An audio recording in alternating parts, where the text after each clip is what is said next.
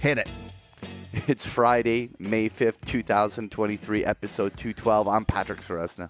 And I'm Kevin Muir. This week, we have the pleasure of welcoming Neil Azous from Rareview Capital. We have a terrific discussion about his career on Wall Street, the problems with market strategists, and make sure you stick around for his Wien Market Surprises, where Neil gives us two out of the box choices that would for sure bring a smile to Byron's face.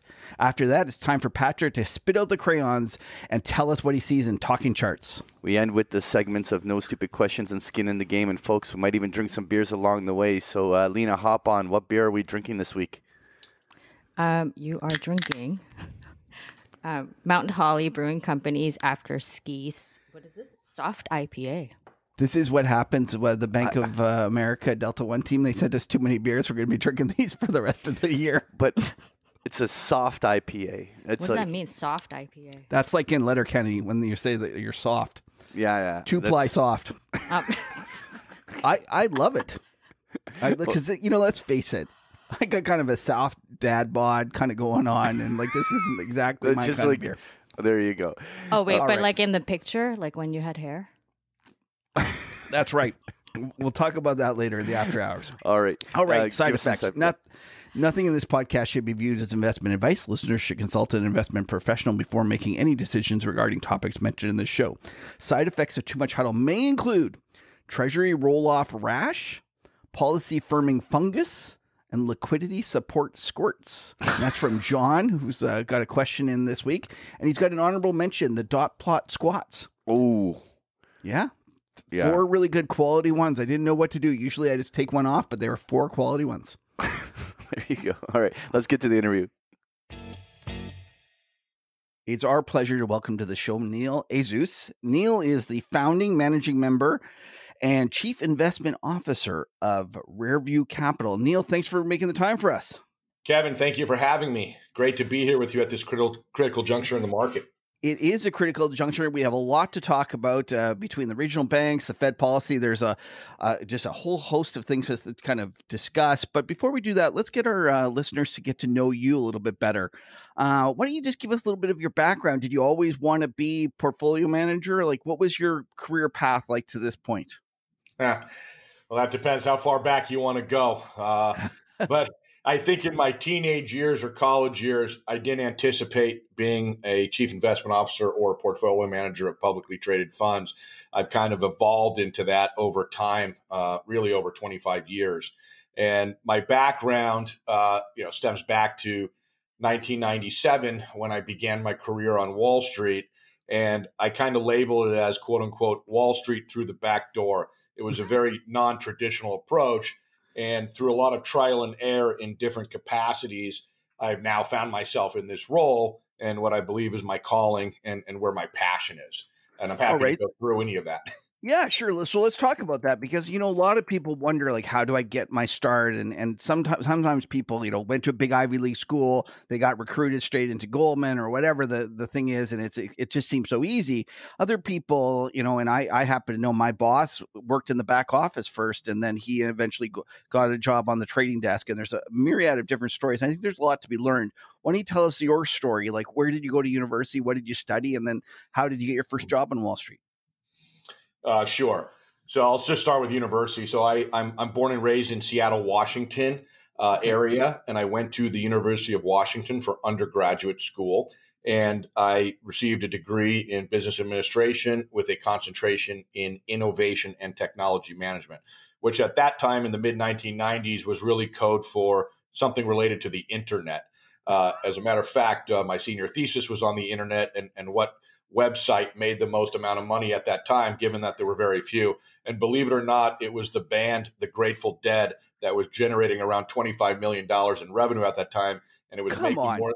It was yeah, it was making more Really? than boats.com or cars.com, uh, you know, in the early stages. So um, that's obviously changed a few years after that. But it was it was interesting to see who got the merchants, merchandising done correctly early. And Yeah, we certainly just had one second before you go on too much because that's just a fascinating story. I'd love to jump in there. Uh, was, were they making twenty five million selling merchandise, or were they just charging? Uh, I know that like Phish has a subscription service where you can go watch old videos, or were they selling boot, uh, you know, copies of the concert? Like, how were they making that money? Yeah, sure. Well, it, it was only merchandise at that point in the evolution of the internet, which I'm sure started around 1994, there was no such thing as a subscription based service. So it was outright either information or I was selling a t shirt. And they had a pretty big following, you know, during that period. Um, I think that's when the lead singer Jerry Garcia passed away uh, in the early 90s or mid 1990s. Uh, and, you know, they may have had an influx from that, but they had figured out how to sell tickets and sell T-shirts and, and memorabilia. Uh, and at that time, there weren't that many merchandising sites, but it was there was a couple out there like watches.com, boats.com, cars.com, but nobody was really buying a car on the internet back then. So it was all small ticket purchases by a broad audience, and they were leadership for a period of time. You know, when we were going through that, so I just thought that was fun at, at you know at that stage. But the words innovation and technology management were, you know, they weren't really defined, but it was, right. you know, anything new in that internet 1.0, if you will. And okay. that seemed fun at the time. So you you got your degree there, and did you then proceed from going on the West Coast to the East Coast? Like, how did that? Uh, yes. Uh, so this part, this part, Kevin's going to sound a bit corny, but you'll probably remember the movie. I think it was either the late '80s, I think it was the late '80s, with Michael J. Fox, "The Secret of My Success." Yeah, for um, sure. Where he just knocked on doors to try to find a job. That was kind of my story. So uh, while the University of Washington today is a top 25 school in in various surveys, at that time Wall Street predominantly recruited at the top 10 universities in the United States, as you're familiar with, if you wanted to go to any of those top tier firms. And so, University of Washington was certainly not one of those. So, honestly, I literally bought a plane ticket, I bought a map, I packed a briefcase of 10 resumes, and I flew out to New York and I identified 10 firms, the usual suspects Bear Stearns, Merrill Lynch, Lehman Brothers, Donaldson, Lufkin, and Jenrette, you know, some of those boutique firms that were great before right. they were purchased by the behemoths, et cetera. And I went down to the lobby on the first floor and I said, Hi, my name is Neil. Would you let me walk around some of the floors and I could just shake hands and meet people? And of course, eight out of those 10 places, most of them all not around today, vomited on that story. You know, they didn't like the way my suit, they didn't like the way my suit looked, meaning it didn't fit in on the Wall Street pinstripe uh, uh, uniform at certain firms, or they didn't like that I went, I didn't, um, I didn't uh, uh, go to the top 10 school, or my GPA was not a 4.0 and I didn't get 1500 on my SAT scores, you know, etc. Anyway, by the end of that first week, um, I knocked on the door at a firm called Goldman Sachs. Maybe you've heard of it. And somebody came down and uh, he shook my hand and he said, Hey, what are you doing? And I said, I'd like to work here and he loved the story. And he put me through a a uh, process over the next five days, where no joke, and this is a, a true count. I had 55 different interviews um, across different departments at Goldman Sachs. And by the fifth day and the 55th interview, maybe I was in the right place at the right time. Maybe somebody quit. Maybe somebody liked me. I really don't know. And they offered me a job on the spot at that uh, at that point and said, "Hey, we'd like you to join our analyst program that starts, you know, in the next couple of weeks. We'll pay for you to move out of Seattle to New York City. We'll give you a sign-on bonus to go out and buy some clothes, uh, and you'll start in the operations department." Uh, in the mortgage operations department, actually, which is our busiest operations department, given that we were the uh, they were the leader in mortgage uh, origination and trading at that time. Okay. And so it, you know, I don't, I don't know how to describe it. Maybe that was an example of from that movie, The Secret of My Success, but that was really the background and where the term Wall Street through the back door, uh, I've termed, uh, came into play for me mentally. Uh, and then it was a great ride. Uh, you know, I, I spent uh, a year there in that department, roughly. I, I, can't remember if it was 10 months or 14 months, uh, but someone through a mentorship program, which they were very good at, and I became friendly. and an opportunity opened up on the trading floor in a pretty short period of time. And as you can probably imagine, it's, it's, it's very difficult to make the jump from operations to the front office. Uh, but they were creating a new desk. Um, at that time, it was called Credit Derivatives. Uh, it was a, a, a, $5 million business with a goal to become a $400 million business.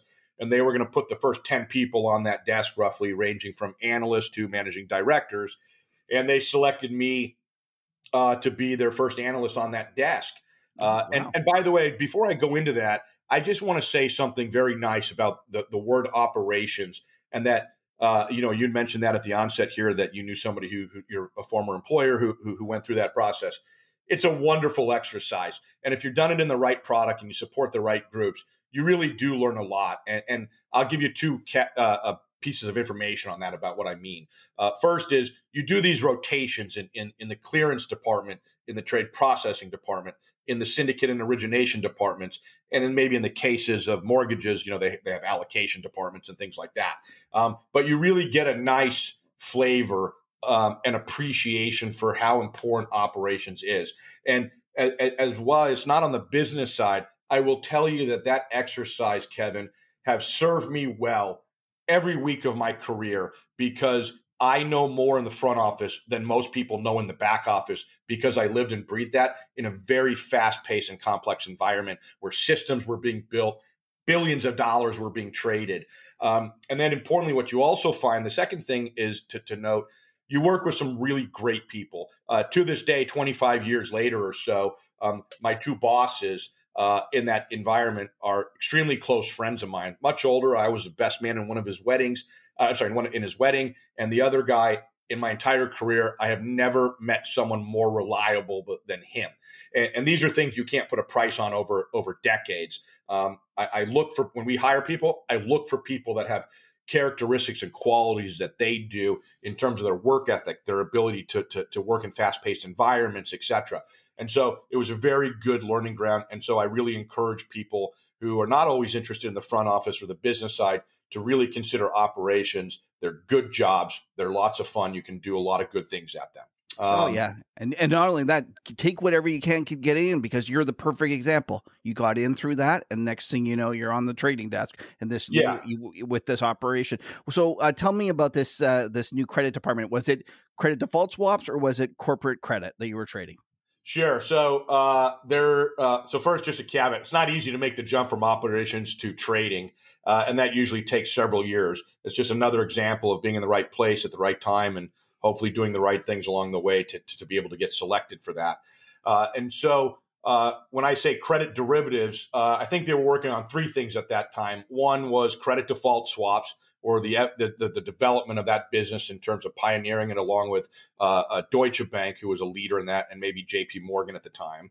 Uh, and then secondly, uh, total return swaps or financing driven transactions related to the balance sheet, you know, et cetera. At that time, they would be called the Lehman indices that people would use to hedge. So the Lehman aggregate index, the Lehman mortgage index, you know, et cetera. Uh, and then and those indexes turned into is that the Bloomberg aggregate? Like that's is that what we're talking about? And you were yeah, that's correct. So uh, uh, it was then purchased by Barclays years later, which ended up buying Lehman in, in the GFC, right? Uh, the global financial crisis. So you were trading indexes of bonds through like basically putting together uh, derivative trades on those on those indexes. That's correct, and the, the technical okay. term being a total rate of return swap. Okay. Uh, and then thirdly, there was a, a the, the, third leg of those businesses were uh, collateralized debt obligations or CDOs, uh, and uh, it, it, was. Uh, here's a funny story. You know, I, I, know we spoke briefly beforehand, and you you, you always like these comedy, uh, you know, any any type of funny or comedy stories in these things. And I remember, I can't remember the year it was, but it was either like '99 or 2000. And at the time, um, after the IPO, which I you know was was privileged to go through at that time and learn a lot from going from a private company to a public company and growing from 8,000 employees to 25,000 employees at that time. I believe the chief executive officer was was was Henry Paulson, who later became the Secretary of Treasury. Uh, you know, in, and and was central to the global financial crisis solutions. I remember him coming down to our desk early on and saying, "This is going to be a new important product we need to take this business from a $10 million business to a $400 million business. Can you guys come upstairs one day and teach us what a credit derivative is so I can go out and sell it? And there was nine, eight or nine years later, and the system was blowing up. And I believe I turned to my wife while Henry Paulson was on TV or in one of the movies, and I said, There was a time eight or nine years ago that we had to teach him what that was. and, here, and here he is saving the world now, effectively. So I get kind of I get quite a kick out of that, Kevin. So were you were you on the desk? Um, oh yes, you were you still there in two thousand and eight, or were, no, like no, no. So I, I spent I spent about a little over three years there. Um, okay. So I did a year in their their traditional analyst training program uh, for sales and trading, uh, and then again, just you know, early in my years, I had I had some good success. I was in the right place at the right time. I was working on their total rate of return swap book or these indices or various financing transactions. And we had done well and we were losing some people or the industry was losing some people to the tech side of things or the early stages of the internet. And there was an opportunity um, to skip my third year as an analyst. Uh, and, and sometimes they let you stay on as a third year, um, but most of the time they want you to go back and get an MBA from a top school. Um, again, I was in the right place at the right time. I ended up skipping my third year and then going into their associate training program for MBAs without the MBA.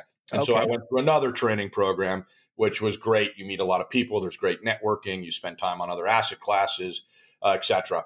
And, and it, when it was all said and done, uh, uh, I, I, always viewed that place and spe- specifically in fixed income as the preeminent learning train learning or training program if you come to Wall Street, and it, and it has served me well.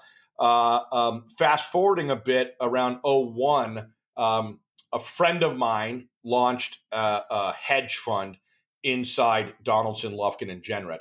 Back then, the word hedge fund wasn't widely used. It was called, quote unquote, an investment partnership.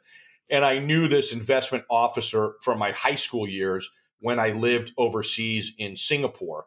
Um, he was way ahead of me. He was the chief investment officer for Asia for a large bank. And anyway, he called me up and he said, "Hey, why don't you come join me here as a risk manager and head of trading and a partner in the in the hedge fund?" And we'll see if we can't raise money internally and externally. Uh, you know, you've you just kind of come through an analyst and associate program. The company went from private to public. It's time for you to move on to the next side, including money management. And so I went over to DLJ, and and in retrospect, at that time, uh, looks like I made a career mistake. Um, you know, shortly thereafter or in between that, uh, they were purchased by a firm called Credit Suisse First Boston.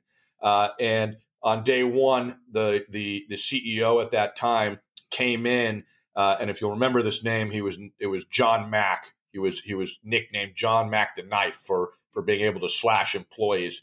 Uh, and he wasn't he the Morgan Stanley guy.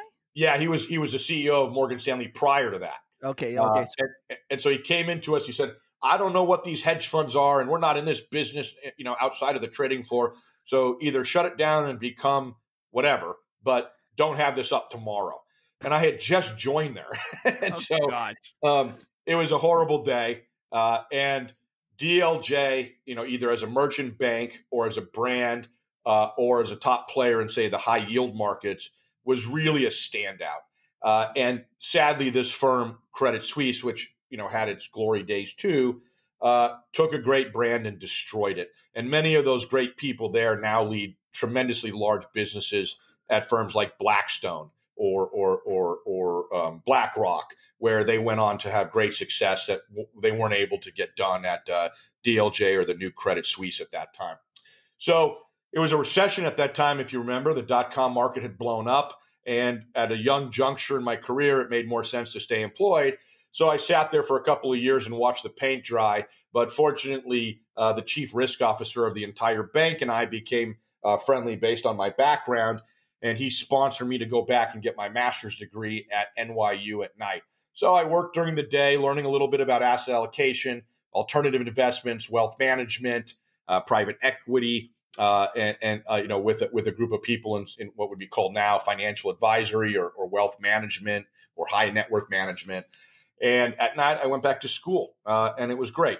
And then uh, uh, I uh, stayed employed during that recession. And then in in, in the end of 2003, um, a group of people I knew from Goldman Sachs had, had moved to UBS Investment Bank. They had just built the world's largest trading floor uh, in a city called Stamford, Connecticut, and said to me, "Hey, we can find a role for you here. Why don't you come over?"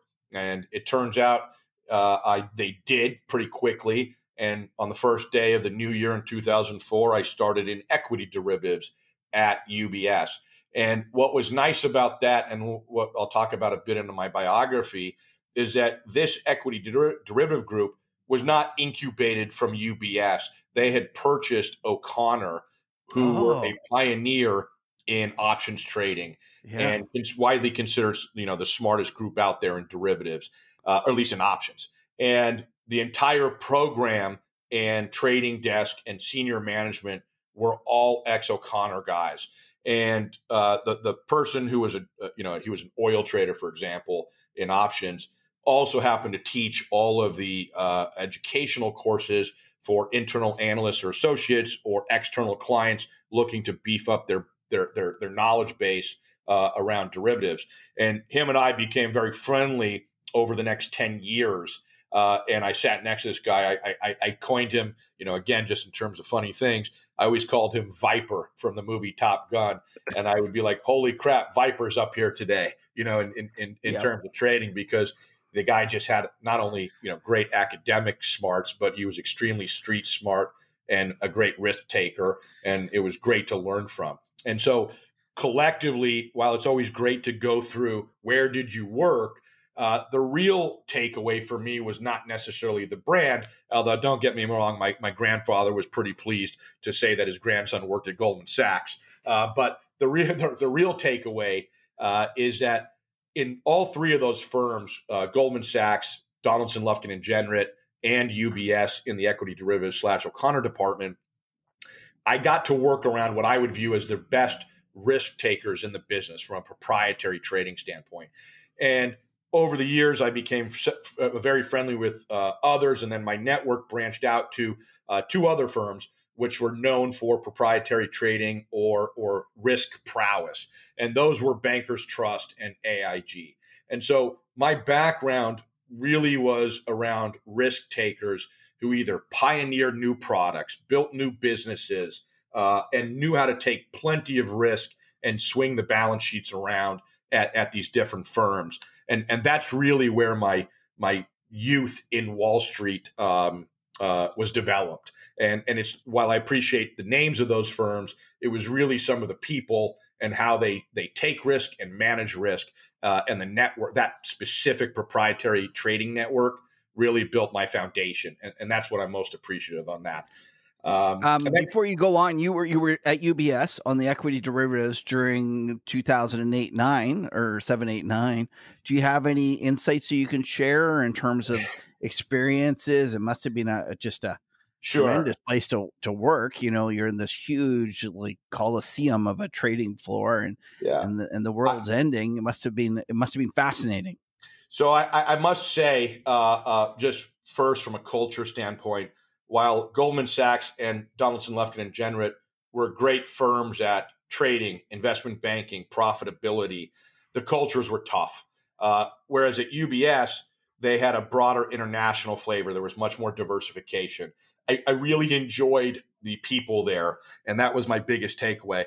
That said, I spent time uh, uh, in futures, options, swaps, ETFs, uh, and, and and and and was a top producer on my desk for a very long time uh, doing that. And uh, I helped pioneer what is now you know they, they call them direct indexing, but in, in, the old days we used to be able to replicate indices or ETFs in a custom basket form. We call them pus- uh, custom portfolio swaps or CPS, and I helped develop that business out on Wall Street as well. Uh, and it was great. I, I, don't really have anything I look back on at that time as as negative at that firm. Uh, I was there for exactly five, uh, four years and change, uh, maybe four and a half. And I'll walk you through how I exited in a second. Uh, but in general, great people, great products. Uh, we were one of the the, the the the few groups who had a global macro bent to our uh, derivatives desk, and we were known for that call on the street, where others were known for straight volatility or providing capital on single stock options and things like that. We really were a good consultant on the macro side to some very influential investors uh, in the business. Uh, and it was great. And uh, they rewarded me well. Uh, I had an opportunity to go into a global leadership program where they take 50 people globally a year from the investment bank, the asset management division, and the wealth management division globally. And you get to travel around the world, report to the executive committee on your findings on certain projects. It was great. They did a great job at mentoring, growing your career, promoting you uh, when you do the right things. Um, just very, very fond of that brand. I know, I know that's kind of off the beaten path because when you compare that to some of the U.S. banks, I just had a great time uh, and I can't complain. Uh, but what happened was in in, in early 2008. This is prior to the first, I guess, t- uh, uh, tape bomb that came out regarding subprime. Um, my boss and another boss decided to spin out and start a broker dealer, and said, "Hey, Neil, why don't you come on board uh, in in February after you get you know the bonus cycle, etc." Uh, and these two guys who started this business um, were quite big producers. They were winners. We had great philosophy, similar philosophies, great synergy. And on February 15th, I got my bonus. And on February 16th, I quit. Coincidentally, or maybe it was March 15th, I can't remember. I only remember it by this date. It was the day that Bear Stearns stock got cut in half by 50% on the day that I resigned. And so I, I like to make Good this timing. Huh? Good timing. Yeah, I, I, li- I like to make this very clear.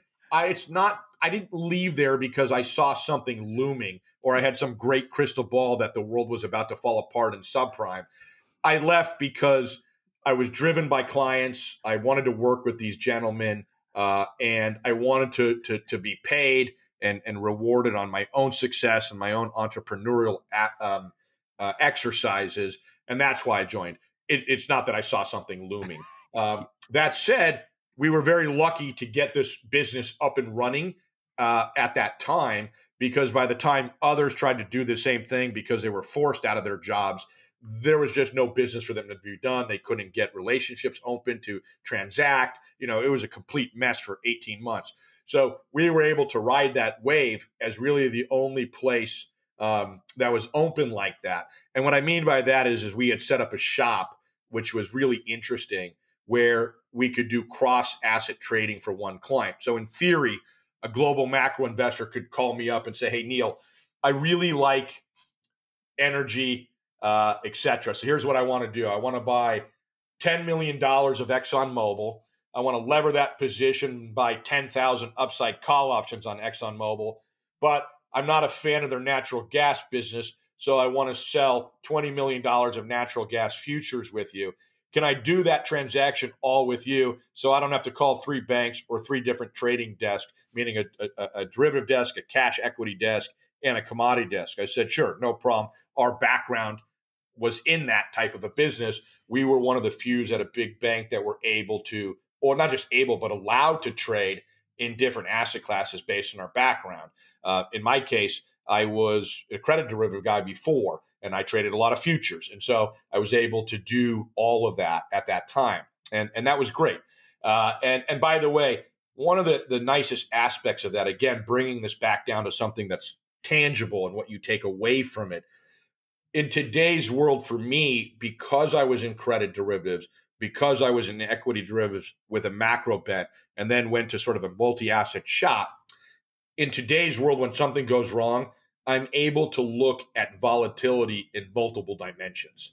And, and that serves me well in our portfolio management. I'm not saying that I can spot all hidden risk, but I have an ability or a background in potentially spotting that impending danger as a result of looking at things multidimensional. Uh, and Okay. that, that that's the background on that. Um, All right. So, you know, that actually uh, kind of highlighting that risk and the fact that you look at it across asset classes kind of leads me to let's talk a little bit about markets. We'll eventually talk about what you're doing now, and we'll do that towards the end of the show. But for now, let's just talk about what you see in the markets today and what concerns you. Let's just start with the easy one. The Fed just hiked. It looks like they're probably signaled that they were done and that this is going to be the last hike. Do you agree with that? And what uh, what do you take away from the market's reaction to that? Sure. So I always like to preface these conversations, uh, uh, Kevin, with exactly how we analyze or come at the, these talking points, like the Federal Reserve specifically. I am not in the least bit interested in what a speech looks like or how it's interpreted or even a system that uses natural processing language to interpret speech, speeches or or or events that they have. I, I, I view those people as speech whisperers, and they don't do anything from a practicality standpoint, portfolio construction, or how to actually structure an investment thesis or even a trade. And so we do everything in probabilistic um, fashion. So we, we think about things in probabilistics. Uh, we think about historical precedents.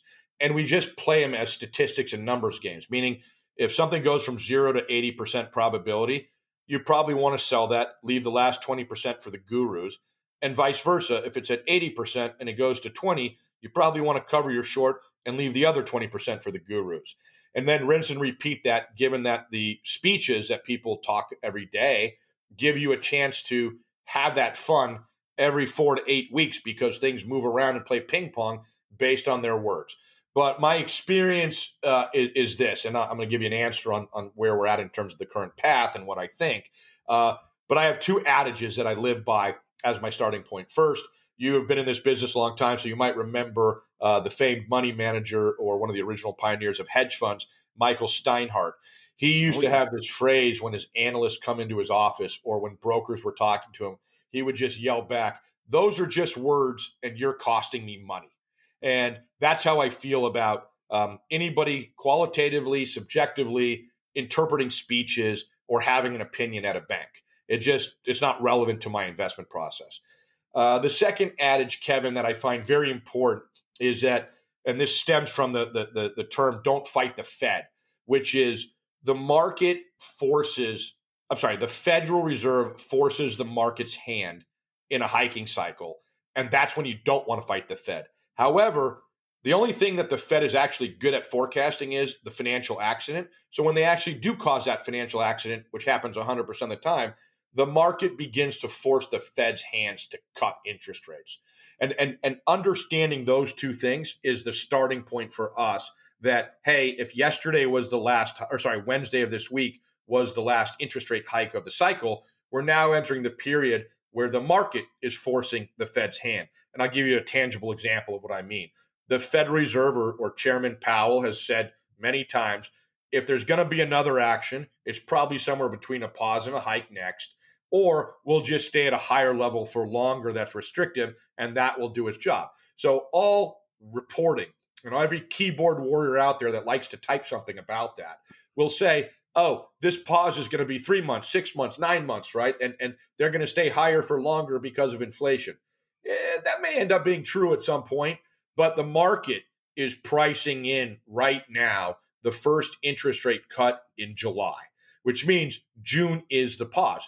And as a matter of fact, based on these regional bank issues, we're almost seeing a small semblance in our models that there could be quote unquote an intra meeting cut. It's a small probability, but it's not non it's not non-zero any longer. And that's so we think about it that way. So right now, the juncture is the current Fed funds rate uh, is five and a quarter percent. They just got there.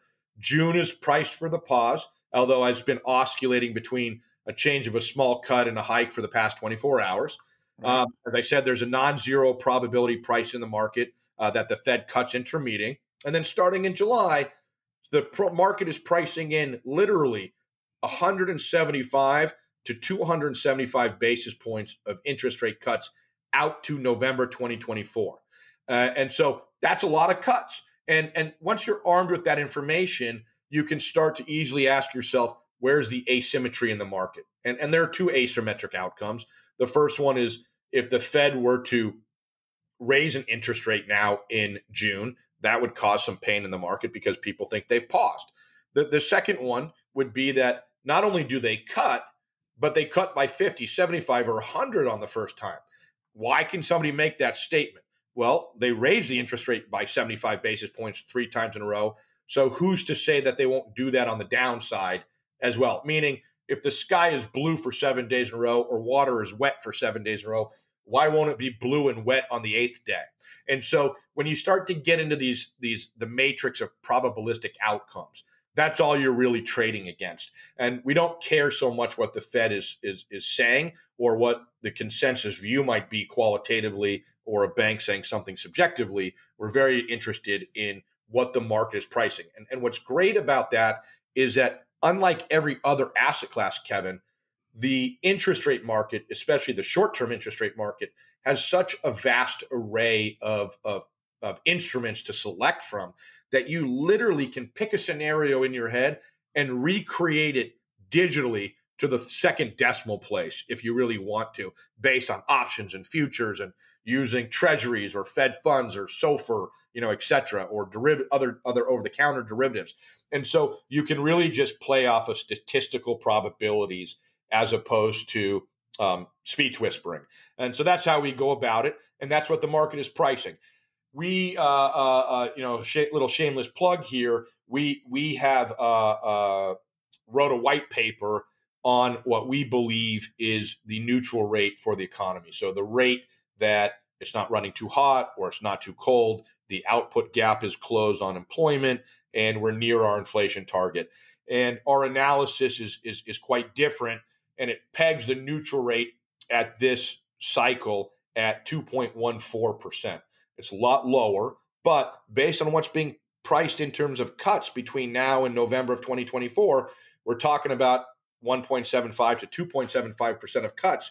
You take that off and then a little bit more because of financial accident, we'll just end up back at whatever the neutral rate is. And, and interestingly, Kevin, the, the day that the Federal Reserve first hikes in an interest rate cycle, where the five year treasury yield is, that's exactly where they're going to cut back to. And there's actually a 100% accuracy rate on that historically. So the play and the view is, is that the Fed is going to embark on a cutting cycle. They are going to cut it back down to the neutral rate from five and a quarter back down to 2.14%, or the treasury market will reflect that in the in the forward markets. And there are lots of different um, studies on that, Kevin, of how that works. Um, but the most important one at this stage is really to just be open minded and understand how that process works. And, and it's just data. And anybody with a big data machine can crunch this. This is not original. And so if you say to yourself the, the, that the starting point is, is that the market forces the Fed's hand to cut. And in the cutting cycle, on average, going back to like 1970, the Fed has cut an interest rate um, six and a half months on average after the last hike. But it's been as quick as 1.4 months and as long as 14.7. So if you take that basic data and say, oh, why is a cut being priced in July and our last hike was on May 3rd? That's about two months. Uh, okay, that's within the realm of the sampling that we have. It's on the earlier end, but it's possible. And if not, by the time we get to September, it's exactly in line with the average uh, uh, time that it takes them to cut. It's just a historical precedent. It's not a view, it's just a factual piece of data. And then you can build it out from there that says, you know, during um, a, a cutting cycle, the market price is in a full return to that cycle's neutral rate within 4.2 months. A simpler way of saying that, Kevin, is that between the last hike and the first cut, so let's say it's a couple months or six months on average, 80% of the entire interest rate move over that entire cycle of 12 or 18 months will be priced in the first four months. The battle is won up front. The market gyrates immediately to that. It forces the Fed hands. The pricing reflects it, you know, et cetera. And so you definitely want to be in there to catch that first acceleration point when they move from a hiking cycle to a cutting cycle. Uh, it's pretty basic to me. And and the reason for that is, and this should not be a shock to anyone, especially people who operate qualitatively, is that the reason they have to cut is because something broke and they broke it. And when they broke it and you're above the neutral rate or the equilibrium rate, their job is to recalibrate fast to try to fix the problem. Well, guess what? In this time around, not only did they surpass the neutral rate by two times the historical extreme, meaning if the neutral, I'm making a number up, if the neutral rate is two and a half, two and a half percent, and they they they the, they've never gone more than 4.2%, which would be 170 basis points above the neutral rate. Okay, well, we're 3% above the neutral rate right now. So almost two times the extreme. And then when you add in the fact that we're at the deepest inversion in history, then they need to get back to neutral fast. That recalibration is violent. And so the statistical number is that they cut the interest rate 2.4 times faster than they hike it because they have to get back and recalibrate quickly. And so all these ingredients are there, Kevin. They're they're they're they're widely known. Uh, anybody with a machine can calculate this stuff. And the idea is to be open minded to these historical precedents, the timing, the statistics, and the probabilities. And you can remove all qualitative commentary around that, including what these guys um, at the Federal Reserve has to say, which, in, in my experience, they're really good only at two things being 100% consistent in wrecking something and being 100% consistent in saving the world in an extreme situation like the GFC or the pandemic. That's how they build their credibility on both of those extremes. Everything in the middle, they're just words and you're costing me money.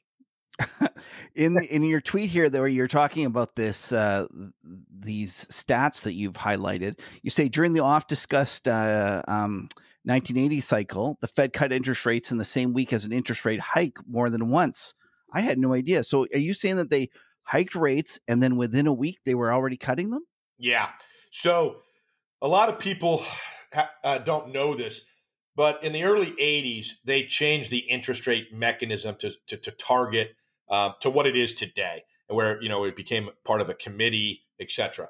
Prior to that, it was really based off of the repo market or or the treasury market of where things were settling that day. There were no formal committees that set that target rate. That's and right. so it was like a free floating system where things could go up and down in pretty dramatic fashion, sit there for a day or a week or whatever, and then look like there was a 2% hike or a 2% cut. That's why we always start the inversion of the yield curve in like 1981 or 82 um, uh, regarding how deep it is right now on in, in, comparison to that because that's when they changed that mechanism. Uh, and so during that period of time it was really like the wild wild west. There's no there was no structure. Um, was a free market floating system that that allowed that to happen neil I, i'm old enough to remember when they didn't even announce the cuts. You'd have to sit there and, and they would go and do an open market operation at 1145 or whatever it was right you'd have to and you have to be like did they cut? And did they, it looks like they cut or it looks like they raised it. And they would just do it by actually moving the markets. Yeah the good old days when we could arbitrage and and and and, and free markets allowed for things. It was right. all, I, I, it's funny you mentioned that because one of the things people really forget over the last 10 or so years i guess now 15 years since the financial crisis is that one of the things that the Federal Reserve did when they embarked on extraordinary policy, such as what you just said, forward guidance or quantitative easing or QE for short, is that it removed the concept of a default cycle or a bankruptcy cycle, meaning free markets weeding out the weakest in capitalism stigma of survival of the fittest. We may be returning to that, I don't know, but they really uh, uh, had not allowed that to happen uh, with forward guidance. I mean, they told you what they were going to do, and then they were going to buy assets. It made life easy for a lot of people who who are long only for a very long time, especially investors in the credit markets, where all they had to do was figure out how to get their a, a land grab on the on the syndicate of new credit issuance. There was no secondary trading for years. Really. Oh, sorry, I, I, didn't mean to interrupt. You mentioned that you said that you wrote this study about uh, what you felt was the natural rate, and what was it, 2.2, 2.4? 2.14%. Um, right. okay. So that's the neutral rate. And keeping things super simple, the rate at which the five year treasury yield settled that week of the first Federal Reserve hike is where the neutral rate returns to with 100% accuracy. You can see that in the table of the white paper that we produced uh, at our firm. Uh, okay. Right now, just to give you the, the, the breakdown, the Fed's at two and a half percent in theirs. So we're a little lower than theirs by about 36 basis points, but it's within the ballpark. Uh, you know, it's not. By the way, it's not an easy thing to calculate. So I'm not suggesting that you know our methodology is superior than than than the traditional ones. We've just identified what I would call a disturbance in the force, and and we look as to think where things are going. Um, and so that's kind of a framework. So a good a good argument, you know, if you're structuring an option position, for example, my view is is that we are going to broadly return by the end of this year to somewhere between three and a half percent and two and a half percent in the Fed funds rate, down from five and a quarter. So you want to buy something if you believe in that view that has that landing zone, and that landing zone or even lower takes into consideration either the Federal Reserve's forecast for that neutral rate uh, or ours. Okay. Uh, my question to you is that um, when Powell first got uh, uh, uh, took over as chair of the Federal Reserve, he came out and he was fairly hawkish at the beginning. If you remember back in 2018, he started hiking, and he had that uh, infamous point where he said we're a long way from neutral, and yeah. got up to whatever that number was, and right. Uh, and all of a sudden the the stock market fell down, and and he cried uncle and changed his tune. Yes. It looks like this time uh, we've gone a lot further through the natural or whatever you know you kind of the equilibrium rate and we've had to go much higher i was wondering if you have a theory as to why that was why this time is so much different and why we've in essence had one of the most aggressive tightening cycles of the past 40 years sure uh, so first uh, let me just say up front to that question kevin I have no idea what goes into the stream of consciousness of Chair Powell or that committee um, and how they uh, uh, determine things. Uh, if you put a gun to my head and ask me to speculate, I would tell you that my opinion is that they're still afraid of the inflation dragon rearing their head and that inflation longer term inflation expectations need to remain anchored and that that is still the overriding uh, priority for them and they are not concerned about growth or certainly the new banking issues that they seem to be causing. Uh, and so that still is their their their priority.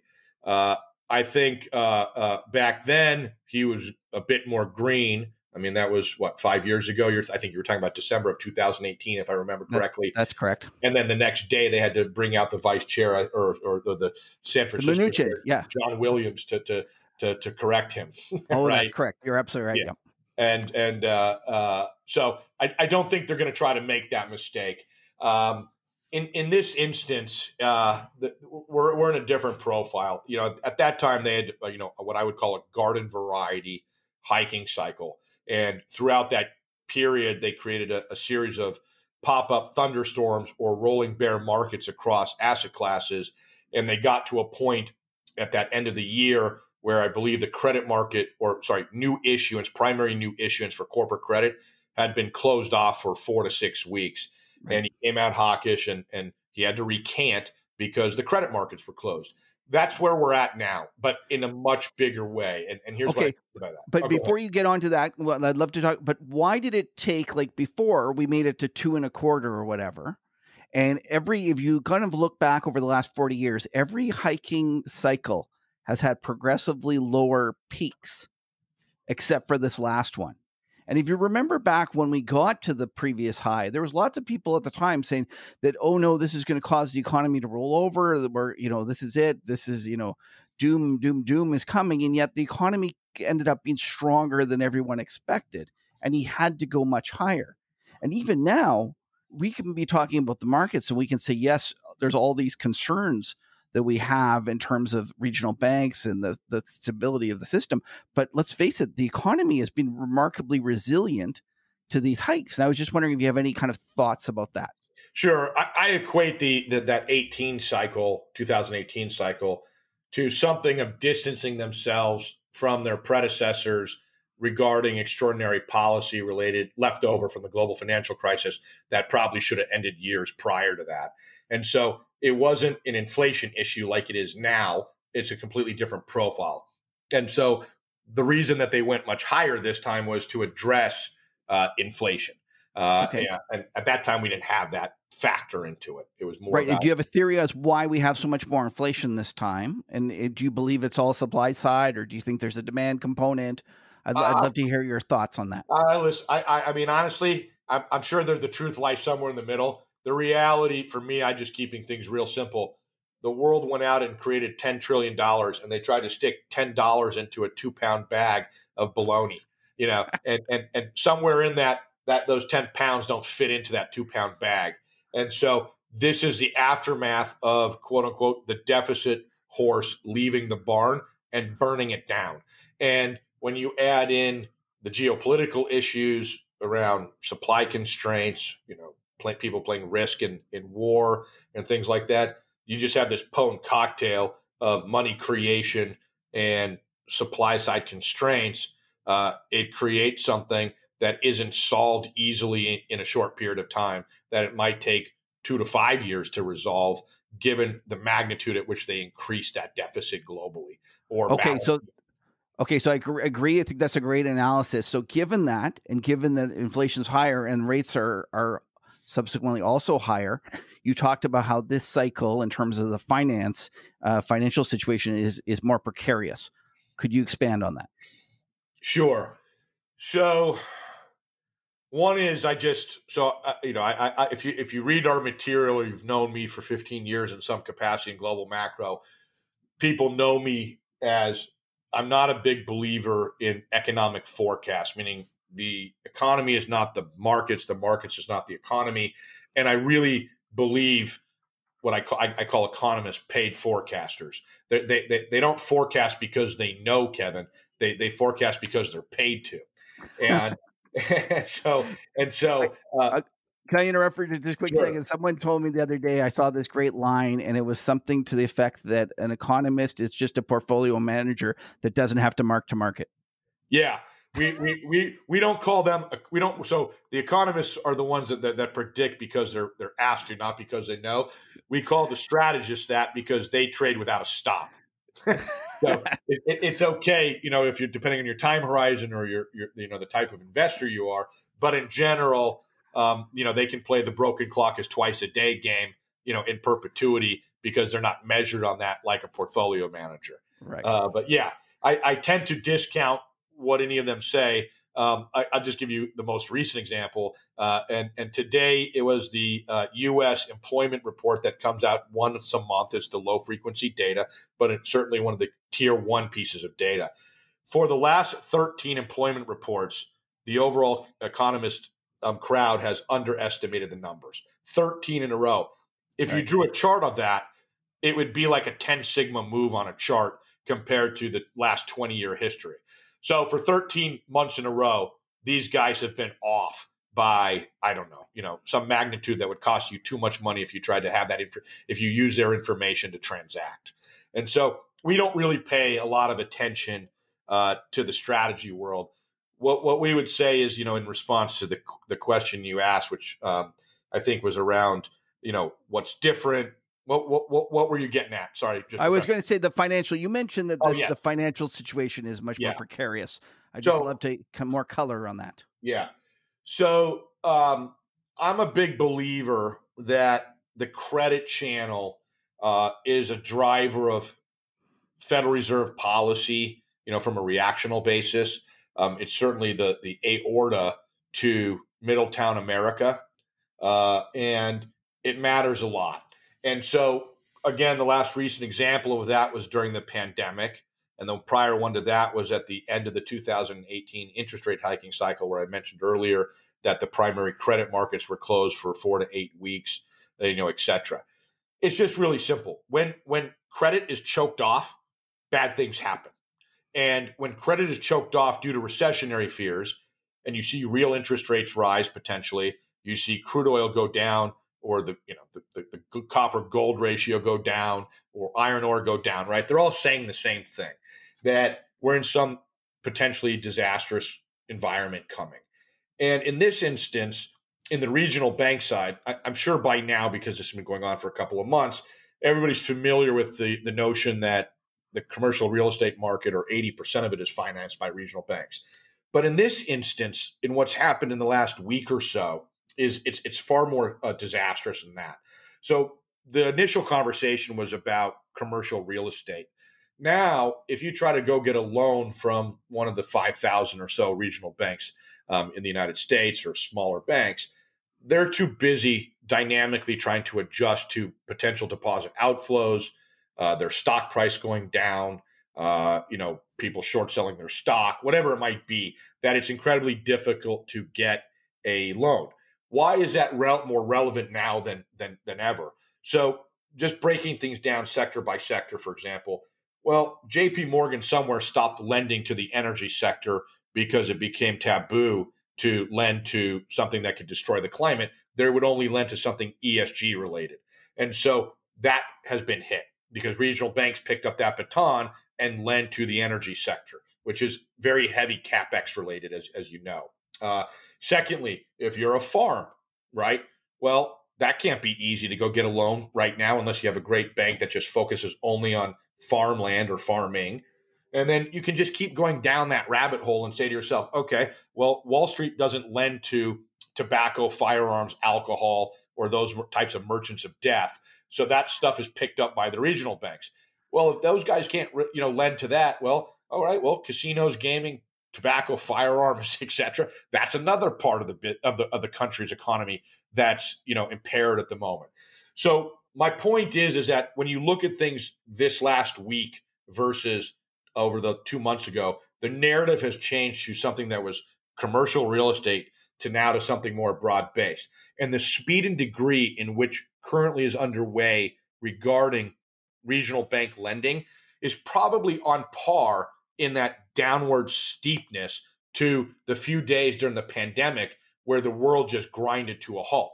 Now, if that were to continue, Kevin, for the next month or so at that pace, we'll be either at or below where we were in the global financial crisis. No matter how anybody slices that, that's drag on GDP when credit is choked off like that. To what degree? Okay, we'll let the paid forecasters figure that out. But I can tell you it's somewhere north of 50 basis points of GDP drag and probably upwards of one to one and a half when it's all said and done if this were to not be stopped right now. And then when you add that into the restrictive policy by the Federal Reserve and the potential quote unquote fiscal austerity that is likely to come out of the debt ceiling deal, whether it's tomorrow or in August, you add that combination of fiscal austerity, interest rate hikes, and regional banks curtailing their lending or tightening those standards at, at pretty fast speeds and, and, and, and a deep degree, it's a bad combination. That's that's real drag on GDP. At, at a minimum, that's going to widen out credit spreads. And, and that's what the trajectory looks like here, unless several things happen, right? Number one, that the Fed stops raising the interest rate and they cut it to get these banks back on side. The banks stop curtailing lending standards.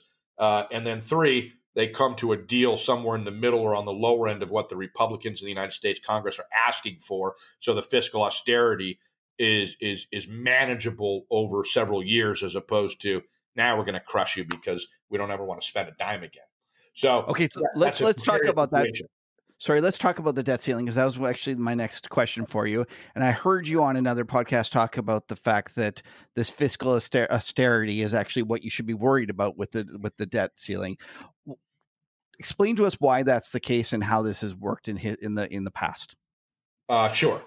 So, quick history lesson in 2011. Uh, everyone focuses on the debt ceiling because the stock market cratered afterwards the, the truth of the matter is, Kevin, at that time, a deal got done. It, there was no quote unquote technical default of the debt ceiling. It got done. But what happened is when it got done, the economists immediately forecasted new models based on the fiscal austerity that was in it, which was quite large. And they downgraded growth forecasts pretty dramatically right away. And then the strategists showed up and downloaded earnings per share guidance right away. And the stock market reacted to that new economic profile, that new earnings profile, and they sold it off pretty hard. Uh, and you know, it was a, a pretty decent correction. In, in this case, what I was saying is is that the pedestrian view, or something that's very hashed out, is that what they call the X date. When is that going to? When is the debt ceiling going to be breached? And whether that X date gets pulled forward to June from July or August or whenever that's expected to happen, and then what happens if there is a technical default. I, I just find those views very pedestrian or myopic or consensus. There's nothing special about that. I, you know, if they don't, if there's a debt ceiling that's breached technically, okay, that seems bad. So lots of money will go into the front end of the yield curve because nobody wants to sit on paper that matures in five and 10 years when the U.S. could be dead in that period of time, right? So if you run a balanced 60 40 portfolio, your fixed income should help you in that instance. I, I think what I, I, I, have this term here at, at, at, at Rareview Capital, we, we call it sight beyond sight, which is some type of forward looking view. We never look backwards. And when we apply this term sight beyond sight um, to the debt ceiling, um, we come up with something that's more uh, uh, fiscally related, not so much about the mechanics around technical default and payments and these kinds of things. And what I mean by that is, is that the Republicans are asking for four trillion dollars over 10 years of cuts, you know, some version of that. And and the the the Democrats don't want to do any of that. okay, fine. The reality is is that a win for the Republicans is showing that they got some type of fiscal austerity or that they look like they stopped the the deficit horse that left the barn a long time ago to burn it all down to slow that horse down in its tracks. That that's considered a win for the Republicans, in my opinion. And so what that means is is that they will be happy if that number came down to one and a half trillion dollars of less spending or, or fiscal austerity. Why is that relevant? Again, we bring the paid forecasters in. They think one and a half trillion dollars is manageable over several years. It, it, equates to somewhere around a half a percent of GDP drag. But if the, you get the four trillion, well, now we're talking about north of one percent GDP drag just from this fiscal austerity. So the level of where they come in at matters a lot to growth. Um, my view is is this won't be a problem. The, the, the truth will lie somewhere in the middle. It'll be very manageable. And and and why do I make that claim when everybody thinks that you know Congress or the government's a, a, a total mess? For me, I just I just keep it simple. We're not having a discussion here about uh, uh, the Health Care Act or quote unquote Obamacare. We're not having a discussion about the Trump tax cuts, and we're not having a discussion about the new one um, being the, the the Inflation Act that just came out. So not having those three major pieces of legislation attached to this exercise makes life incrementally easier for them to negotiate. Secondly, the sequence, Kevin, is different than the last couple of times around. In this case, the House is controlled by the Republicans. They are going to pass a bill on their own without the uh, you know blessing of the Democrats in the Senate or the administration and that means they're going to pass a bill at some some you know large number that will never pass, and they're going to hand that off to the Democrats in the Senate. At that point, they basically shifted the blame or the risk to the Democrats. So based on that sequence, if something doesn't go right, but they brought them a bill, eh, the Democrats take the blame in whatever next election there is, I suppose. And so I think that is helpful in bringing them to the table. Um, and then you know you you think about just sort of tail risk or whatever it is, I say to myself, if, if they oust the House Speaker, Kevin McCarthy, because the, the far right uh, Tea Party doesn't want him, doesn't, are not happy that he didn't dig his heels in on the $4 trillion of savings, that would be a real te- uh, tail risk. And I, I, I joke, I call that a goat rodeo, which is basically, you know, I call it a hundred things need to go right to survive. Um, but it's, it would be something that would be a disaster and there's nothing all of us can do but is to sit back and watch that train wreck. So um, that's why I'm pretty constructive on the outcome being somewhere in the middle. The fiscal austerity or the drag of GDP will be manageable, uh, and we'll probably get something done, I would imagine, by the end of June. Uh, and there won't be anything to see here. And anybody who sold down their portfolios in advance of that because they thought that was a real risk uh, will find out why it's so important to never miss the top five up days of the year in the stock market. so uh, in there, you mentioned actually the 60 40, and the 60 40 um, portfolio had the worst year in what? Many, many decades, it might even be 100 years. I was wondering yeah. if you have any thoughts about that. Is the 60 40 dead, or was this just a, a, a fluke and it's still alive and kicking? So I'm I personally am a believer in that. I mean, you reach certain points in valuations or prices where you know something can act as a shock absorber or an outperformer in a portfolio.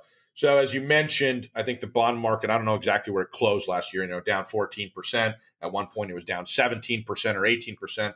Let's just assume it was the worst history and first worst year in the modern era. Uh, right. At some point, if the Fed is going to embark on a cutting cycle because they choked off credit, that bond is going to go back up in value, and it could go up in value pretty significantly. And so, uh, I do believe that that portfolio exists. And, and by the way, you and I have both been doing this a long time. Everybody always likes to poo poo on that portfolio. Ironically, it gives you a nice 10% historically on average every year for the last 20 something years. I understand today is different than 20 years ago, but I hear that every three years on whatever the issue de jour is of that year. And somehow it still manages to make you 10% a year while everybody else is playing their games individually or, or, or, or selling blood out there or throwing bombs. But that portfolio does very well. That said, uh, we do live in a different world than we did 15 years ago. The deficit is in a different place. The demographics are in a different place. The debt is in a different place, right? All of the usual triple D stuff or that you hear about, you know, that that makes things very challenging. So uh, there is an augmentation that is underway. Um, I would say it's led by the financial advisor community at the big wirehouses in the United States. That this isn't necessarily an institutional approach; it's more a financial advisor approach, uh, and they've become comfortable really since the pandemic of using alternatives in a portfolio. To, to what degree is debatable? You can look at different surveys, talk to different people, of course.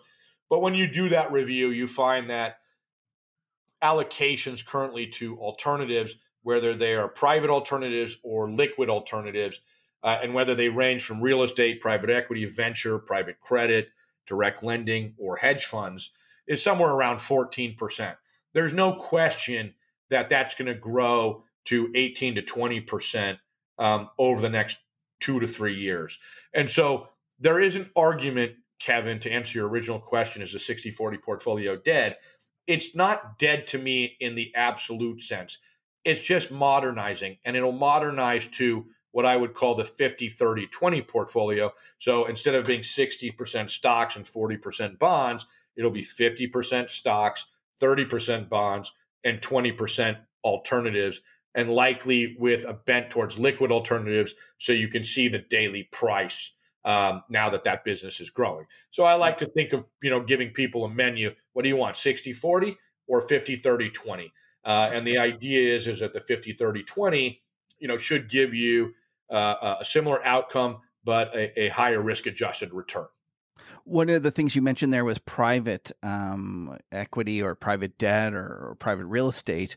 There's been a lot of kind of uh, wonderment about the lack of drawdowns during kind of a, a, point when almost every other asset class went down. A lot of those private markets were unchanged, and in fact, were even up. Um, do you worry that there's a, a time bomb sitting in those things? I don't worry any more than I would worry about some other subject matter. Uh, I worry, sure, but they have different. Um, those vehicles are different. They have stickier capital, longer long lockup periods. In many cases, permanent capital, and so they invest under different premises, especially time horizon, and and that makes a big difference. Uh, there are stuff that's certainly masked, you know, that's masked, you know, masquerading as, as something different. But for the most part, uh, I don't worry as much about that uh, any longer. Uh, uh, that said, I also think there'll be a big movement where we can see what that stuff looks like on on a more um, real time basis. Uh, you know, through a, like a stock price ticking, the the NAV of that fund or the net asset value should be illustrated or more transparent. You know, in in the future. Uh, so I'm not that worried about it, but it's a big place. there's a lot going on there, so we definitely need to be mindful of it. And just like any other asset class over decades, something will blow up at any time in our life. It just happens. And that that just speaks more to diversification as a you know, as opposed to one asset class being a time bomb blowing up the entire system. In, order for that to happen, and this is I, I, I really go back to this a lot, you know, too, too many parallels right now, Kevin, to the GFC. Uh, when we're having a conversation about the fabric of the country being housing blowing up, is very different than a treasury bond being down 10% or 15% that's causing banks headaches when one of those mature at par at right. that point. And so yeah. if you're telling me one of those asset classes have um, a fuse the size of the GFC that could, you know, systematically spread, yeah, I'd be pretty nervous. But for me, you know, every yeah. year something blows up. It's my job to not step on that landmine at, at right. Uh, I, I, I read here that you have three f- favorite trading quotes. I just love to. I'm going to repeat them and you tell me why wow. they're your favorite. Liquidity is there only when you need it. Yeah. Tell me why that's your favorite. One of your favorites. Because I do business with lots of people, and whenever I need liquidity and do a trade, sure, they give me a great price. And then whenever I, I, I you know, I need. Oh, sorry, when I don't need it, they give me a good price. And whenever I do need it, you know, they're not my friend. They're not there. I mean, it's it's yeah. pretty basic. Uh, I, I, another one that people say is liquidity is a coward. It's never there when you need it. Okay, so the yeah. next one is I made all my money by selling too soon. Yeah, that quote's not mine. It comes from a gentleman named Bernard Baruch.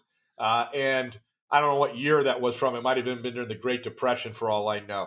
But I uh, I've been known, like if you look at how we invest, you know, different types of uh, uh, periodicals that we do in, in terms of writing, I tend to stay into a into a theme or a position um, up until seventy five or eighty percent. And there are times in that when the, the the crowd is then in it, and it might go up longer than I was there for. But I'm pretty happy not taking the loss on the way out or being the last guy there looking for a chair. So I, I, I like to sell um, in advance uh, uh, to get my money out and then move on to the next story where nobody's involved in it. And I love this last one. Certainty is just the inability to imagine the alternative. Yeah, this one comes from my mentor uh, in the interest rate market. I call him Gandalf, and he quotes this uh, that term. I, I, I don't know the guy's name. I want to say it's like Wingstaff or something from the 1600s, one of those. And it's amazing how many people you and I speak to in this industry that have all the highest conviction in the world about a particular view, meaning there's no way the Fed's going to cut an interest rate with a job number this good or this and that. I just look at that as saying you're just not humble enough to see the other side of the argument. so yeah, that, that's a great way of putting it. Yeah, global macro, there should be a premium for humility. Um, you know, if you really care about my background, I mean, I'm agnostic to a region or an asset class or a cash or derivative instrument or any particular, you know, sensitive subject like China or gold. I treat all my children the same. They're just another trade. It's it's it's humility. There's a bid, there's an ask, things go up and down. Okay, you know, if you get emotional about it and or a vigilante about it, you know, you you you know, in some cases I call you a terrorist if you if you really believe in that. And so I know. I, am the same way because, like I always talk about, if you're gold bugs, I'm like at a certain number, there has to be a point when gold is no longer a good investment. Like if gold went to five thousand tomorrow, could you really say that it's still a great buy? You know, yeah. it kind of it kind of makes me laugh. So I always think that a fundamentalist is someone who still believes in the asset regardless of the price. I. Uh, uh, it's funny you say that about gold, Kevin. Uh, a long time ago, uh, since it sounds like you've been in the business a long time, there used to be a, a the, the it's the oldest uh, uh, financial publication in the industry. I think it was started in 1972. It was called Futures Magazine. Or uh, oh, I remember that. I used to buy that. yeah. So I wrote a I wrote an article in that you know several years back um, on gold, and I broke down. This is this is the funny story. I broke down gold in like a really simple way, and I just said, "Hey, look, gold trades either correlated or inversely correlated to real interest rates. That's the number one factor when you do like a principal component analysis to really look at it in an orthogonal view. And then I listed like the next eight variables that drives the price of gold, right? And and here I am, you know, the, the thing got published, it was out, printed everywhere. And I get this phone call on my my my main number to my office. It's some elderly gentleman at Barnes and Noble's bookstore reading the um, the article and he wanted to call me and just say he completely disagreed with my view on gold and that there was there was some conspiracy going on at the government level you know start mentioning fort knox and all these kinds of things. Oh yeah the gold's not there by the way. Yeah something along those lines and i came up with this thought i'm like these guys are just terrorists they're gold terrorists so i use this term gold terrorists for like 10 years in my writing and the only time it's been eclipsed since then are the cryptomaniacs you know, they, they, they, they, they're like the ISIS of investing to me. So they're, they're, they're one level higher than the usual terrorist now. And uh, it just cracks me up that, that, that okay, I mean, look, there, there's a place for it in the portfolio. It's having a good year, but it's really been a poor investment for 20 years. If you want to cherry pick and make your time frame back to before all of us were born in 1970, yeah, those numbers look pretty good, right? But yeah. in the modern era, they're terrible numbers compared to what you can get in Nasdaq. So you know, it's it's a. I just I just think that it's like I think Jim Grant said something. There are no bo- bad bonds. There are only bad bond prices. Um, okay, so let's finish with our questions that we like to ask our guests, and then we'll sure. talk a little bit about your firm. But let's do the questions first. First of all, uh, what is your favorite trading book? My favorite trading book. Yeah, I haven't been asked that in a long time. I, I guess I, I would look at it from something broad based. I mean, there's certainly good stories out there there's a guy named Tim Weithers um, who wrote a book. I think it's called Foreign Exchange, like a um, what is it called? A practical guide uh, to like foreign exchange uh, or the FX market, something like that. And it's really, if I remember correctly, it, it's a tour of the world's largest market, being currencies. It's got a lot of fascinating insights and facts throughout the book. Giving you one quick example, you know, where do they come up with the name cable when you're trading the British pound sterling? And the answer is, oh, it's the transatlantic cable from the United States to the United Kingdom, right? So it, it has like a whole history of that. And the reason I mention that is, is that when you get into investing or trading, you want to be able to walk before you can run. It's a pretty good foundation to understand the largest market, how interest rate differentials work, how FX forwards are priced, which pretty much transcend all to all futures markets and things like that. And so I just thought it was like a, a unique, nice way to do that. So that's one I always ask people that, that ask me that to say, hey, why don't you go start with that? I think that's good to have that knowledge base. That's great. So it's Tim Weithers and it's Foreign Exchange, a practical guide to FX markets. All right. The next question are great traders or investors, you can do pick whichever one you want, born or made? Oh man, that's like saying is a you know, are you born with a sales skill or not, right? it's like yeah, I, I would say in this case traders are made. I mean, traders aren't born with the ability to read a chart or or keep their emotions at bay. These are skills that you can learn yourself through study, uh, discipline, practice, and they probably take years to hone in on those things. So those are not skills that any traders are born with. All right, the next question. We'll start with um, my favorite, which is the Don Coxe one. And Don Coxe was a famous uh, Canadian strategist, and he always said, "Don't invest on with based on what's on page one today. Invest in on what's on page sixteen on its way to page one tomorrow." Do you have a Don Coxe investment idea for us? Oh man, I have two uh, that I like right now that I call off the beaten path, but certainly can come to page one in the next year. Uh, and rather than get into deep detail in this, because we've been talking for quite some time, I'll just give you a quick overview of each of them. And and unfortunately, these are not sexy. And they, the irony is, they really should be looked at as that way. And sometimes those are the best investments when they're forgotten about. And it's not that I have any particular bias of these; it's just they they stand out as very opportunistic at the moment, and they should not be on page sixteen. Uh, the first one is uh, Japanese equities. Uh, it's been a long time since anybody's really talked about those since probably 2012 or so, or whenever the the advent of quote unquote Abenomics was developed. Um, I think there's a good opportunity here. You know, in, in a nutshell, the story is something about um, this year that various fiscal bodies, along with their primary exchange, are moving to push companies uh, to focus on their cost of capital and their stock prices. And they've gone as far as creating this thing called name and shame.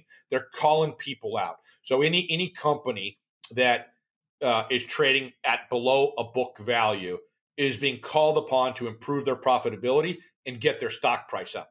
Why is that important? Well, you know, valuations are low. Corporates hold way more cash there than they do in the United States. Uh, they own way less stocks there than they do in the United States. Uh, and so you could keep going down this list. Every one of them are, are, are very compelling starting points, given that the country has an agenda to try to help these people retire. Uh, and so I like that theme. Uh, you can go it a step further and get more precise about what sectors, you know, for example, banks there, you know, they're, they're trading on a book value of like 0.45 times, whereas in the United States, it's like 0.9 times. So anywhere you look, you, you have got a good a good setup over there, um, you know, etc. Um, and then the second one that I think will show up on on the first page, if I don't know what periodical, but maybe Barron's uh, at some point here in the near future, uh, are municipal bond closed end funds. So this is a bit more nichey, uh, you know, et cetera. You know, make sure you do your homework on this. Just don't go out blindly and, and buy something like this based on what I'm saying. Give us a call. We're specialists in this.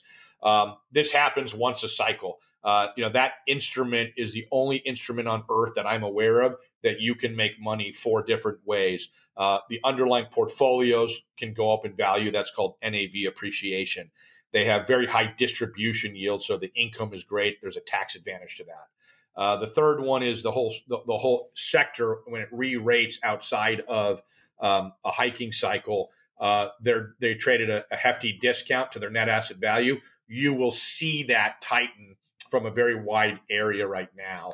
And then finally, if you find a specialist like us, um, you can find uh, uh, uh, there's opportunities to rotate amongst the cheapest to the most expensive and generate or capture different ad- additional alpha in that process. So quantitatively, um, for a variety of reasons, whether it's the distribution yield, whether it's the discount to the net asset value, whether you look at it relative to cash municipal bonds, there is the most fear priced into um, that sector since the global financial crisis. So if you're in the 99th percentile of cheapness and supposedly yesterday is the last interest rate hike, sounds to me like you want to position yourself to get long on that sector uh, prior to the first hike. And that would be a wonderful opportunity, you know, uh, uh, thematically. Uh, that's some great stuff. Don Coxe would be proud. And by the way, I am a huge fan of your Japan call. It's been one of my uh, picks for a long time. I started when Buffett was buying. And for those who are interested and want specific number or like stocks, if you want the numbers that he's bought, uh, Warren Buffett, it's 8001, 8002, 8031, 8053, and 8058. Um, oh, those are the Japanese trading symbols, that's right? Correct. You can go find those. His, I, I went and looked at the little basket. It's been a terrific trade for him, and he can he just went over there with his lieutenant, and it looks right. like he's continuing to buy. And for those who are interested, if you want, you can't buy any Japanese ETFs in uh, the United States, but you can buy it in the in Japan. There's a great ETF. One six one five is the Japanese TOPIX. Uh, yeah, that's um. Uh, it's funny you say that. Uh, I'll just add two things on that because you you mentioned the Oracle of Omaha. So first on on on the Japanese side, the the, the Bank of Japan is the largest holder of the ETF, and so you have a permanent capital holder there. So that's good, and they're continually they bought a lot of that and continue to do that over time. Secondly, uh, Kevin, um, you mentioned Buffett. So if you think about his argument regarding Apple, meaning early on he bought, I don't remember the exact size, using a round number, he bought a two percent position in the in the company, and over a ten year period, based on the degree of the buyback of Apple, I don't remember if that's five percent of the float a year or whatever the the exact number is, but his his position, as you know, organically increases over time, which is his whole shtick when he looks to buy those companies what's interesting about the Japanese scenario and the banks that you referenced that he's an owner in already, if he owns 5% of those, I think he said in his article, he's expecting them to buy back enough stock that by the time that that's done, he'll own 15% of that. The reason that that's relevant, or just translating that to the rest of the Japanese market, is that uh, the the agenda by the fiscal bodies and the exchange is to get them to buy back their stock. And there have actually been several announcements in the last month where where those companies have, have announced buybacks of between 15 and 25% of their float. I don't have the symbols off the top of my head, but to give you the magnitude, if the U- US use the companies in the United States usually buy back 1 or 2%, people love the buybacks but the buyback basket of 5% buybackers. In Japan, they have capacity cash-wise uh, to buy back way more than 5% that that's a powerful combination. And I like to believe, I like to call it one of the eighth wonders of the world, being you know compound interest. Having them buy back eight to ten percent of their float a year for the next five years. I mean that that sounds like a, a good place to be, and and very idiosyncratic regarding U.S. recession risk of something I need to pay attention to but I'm less worried about that because there's an there's a, an idiosyncratic flavor to this approach here. You, you just gave me an idea for a new Bloomberg screen to run this weekend. All right, so next question is Byron Wien. He used to talk about his uh, surprises, and a surprise was something he said that the market was assigning a less than one third chance of occurring, but he thought there was a greater than 50 50 chance of occurring. Do you have a Byron Wien surprise for us? I love that guy. He's been around for a long time. I'm going to miss him one day when he's not writing that each year. um, I have two, I guess. Uh, uh, the first one I would say uh, that would be a surprise is that neither President Biden or President Trump run for reelection uh, because Whoa. neither neither can see a path to victory when push comes to shove. That would be good. Uh, and maybe the second one is, uh, which I guess isn't good for for vol traders, is that maybe we're going to have a quiet market environment defined as volatility being below the historical averages across the asset classes. And for me personally, that would be a welcome reprieve after four years of excess volatility stemming from the pandemic uh, or the most violent interest rate hiking cycle in history. So maybe it'll just be quiet next year. I hear you. I, I, actually agree with that. And I've been saying for a while that this year was the year that was going to frustrate both the Bulls and the Bears, and we were just going to go nowhere. By the way, I think you should go try to price out some dual, um, some dual binary options on that. Uh, Trump Biden thing because I'm sure you get great odds. All right, let's talk about it's uh, you've been a real trooper to stay with us for this long, but let's sure. talk about your firm, uh, Rareview Capital. What is it? What do you do? Why don't you give us the whole spiel? Okay, uh, sure. I appreciate that. So, I mean, we're an independent uh, SEC registered advisor uh, and ETF sponsor. And, and, above all else, Kevin, uh, we champion uh, goals based investment management. We really believe if you align investment solutions with an investor's goals, the best that's the best approach to reaching their aspirations. These most people we work with don't really care how we get to their goal, meaning they don't want to hear the difference between EEM and, and EFA and S&P 500. They just want you to get there. Uh, so we, we we don't think that investing by style box or exposure to a region or asset class really delivers those real world outcomes. So we build portfolios that that look to achieve a goal, and and that's our overarching philosophy. Um, regarding asset management and, and, where we fit in, uh, I would just say you know, we we believe you can you can group the industry into three buckets. You've got um, bucket one, which is disrupting the traditional uh, distribution framework, meaning things are getting electrified. So you've got, you know, robo advisors, things like that.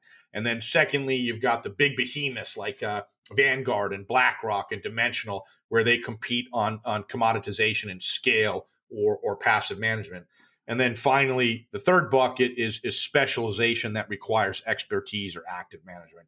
So we, we want everybody to think of Rareview Capital as fitting into the third bucket. You know, that is is that we specialize in um, non-traditional investment strategies, uh, delivering model portfolios to third-party asset management programs, protect uh, protective strategies uh, that require derivatives expertise and, and, customized solutions, especially in interest rates. And uh, finally, I would just say that we, we, we produce our own research; we don't consume it. All and, right. Uh, so yeah. listen, where the I, I see I'm pulling up your Twitter.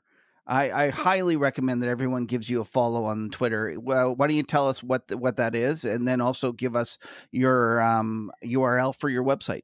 I appreciate that. Uh, my uh, Twitter handle is my name, so it's at Neil Azous, N E I L, Alpha Zebra Oscar Uncle Sam, A Z O U S. And then our firm's uh, website address, where you can find a tremendous amount of information, uh, is uh, rareviewcapital.com. And can you also find the the research papers and everything there as well? Yeah, that's right. If you just go to our white paper section under insights, you should be able to find that. It'll be at the top. Uh, Terrific. Uh, thank you. Well, Neil, it was a real pleasure getting to know you, and I just want to thank you for your time. Kevin, great to be here with you. Look forward to talking to you again, and best of luck in the near future. Take care. All right, Patrick, time for talking charts and oh, shit, lot going on. Oh my god.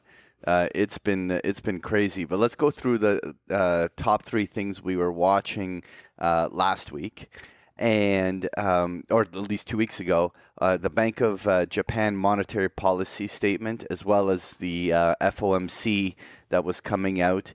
Uh, so, I mean, they came out, uh, and I was actually quite surprised because I was expecting a little bit more of a, a, a, reaction in the markets, but it really was the jobs numbers that uh, was the the kind of uh, market mover a little bit, I would uh, say, out of all of those meetings. What, what did you, you take think? away? Ah, no, I completely disagree. First of all, the Bank of Japan didn't do anything, complete nothing burger, but yeah. unfortunately, too many people were speculating that they were going to do something. So, those of us that are short JGBs and long yen got our faces ripped off.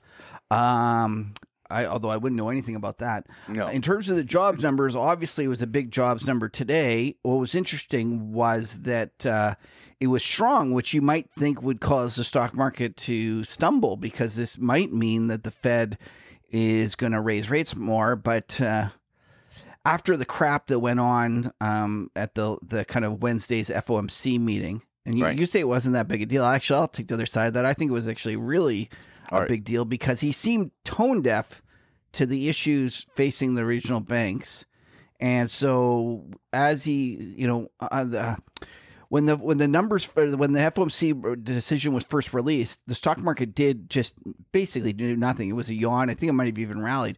But then, you know, he opened his mouth, and from there, it just he kept talking, and the stock market kept going lower and lower and lower. And, and then by the afternoon, uh, we had kind of an ugly close, and then we had some bad news out of the regionals.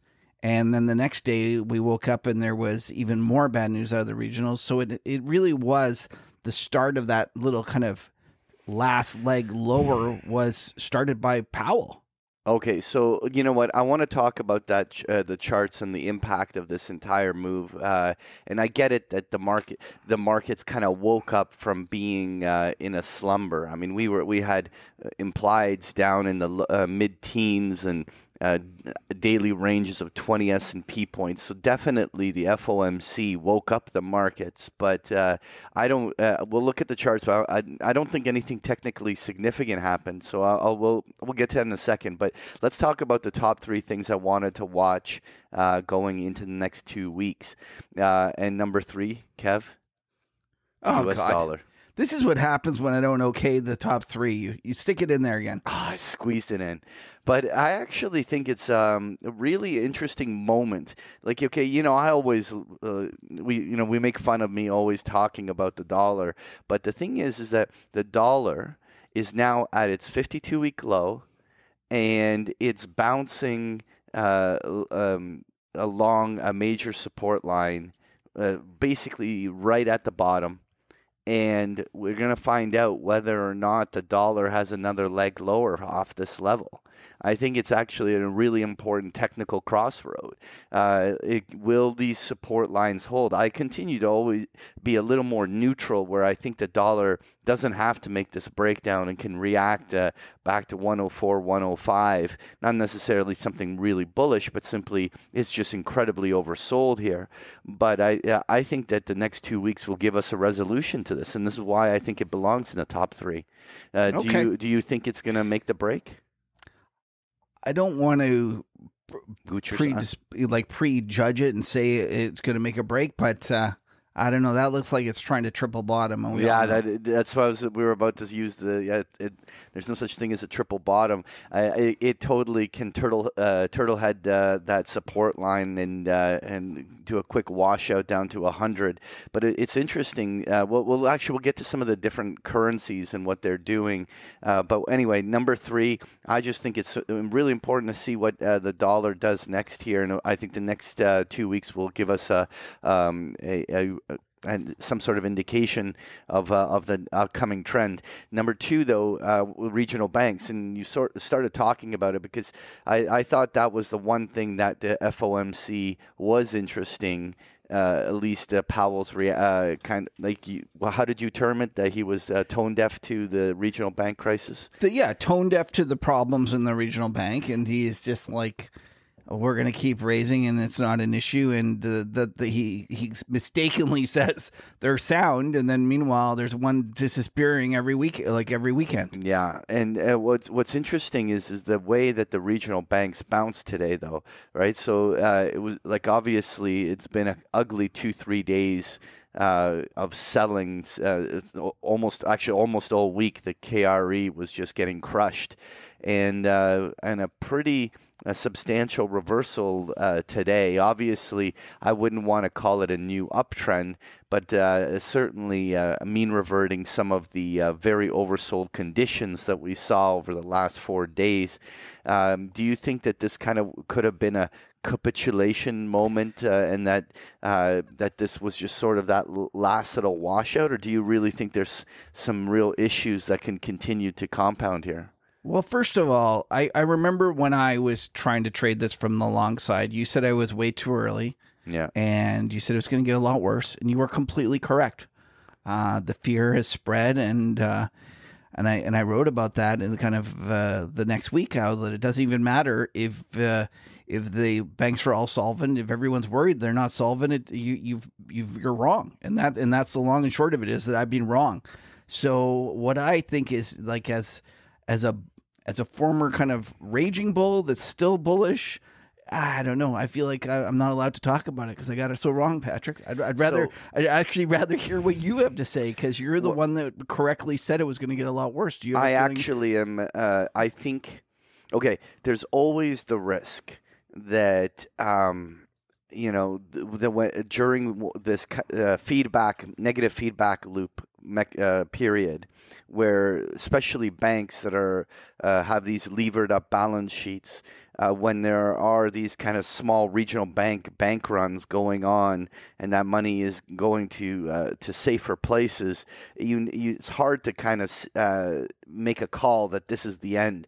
But I feel the sentiment uh, has got so negative and the the duration of the sell off and the magnitude of the sell off has been long enough where I think we're much closer to a tradable low than um, uh, than we were uh, when I was very bearish them earlier. I, I'm not saying that I'm buying here, but I would not be shocked if uh, if we we are seeing price levels that will ultimately prove to being an, at least an opportunity for a reactionary trade. I the one thing that I'm not certain about is if if for whatever reason we did end up in a in a recession and um, a, a, deeper sell off of S&P 500, let's say going to what is the consensus view that we're let's say going down to 3,000 on the S&P, if that scenario happened of course, regional banks are going to be under pressure in that environment.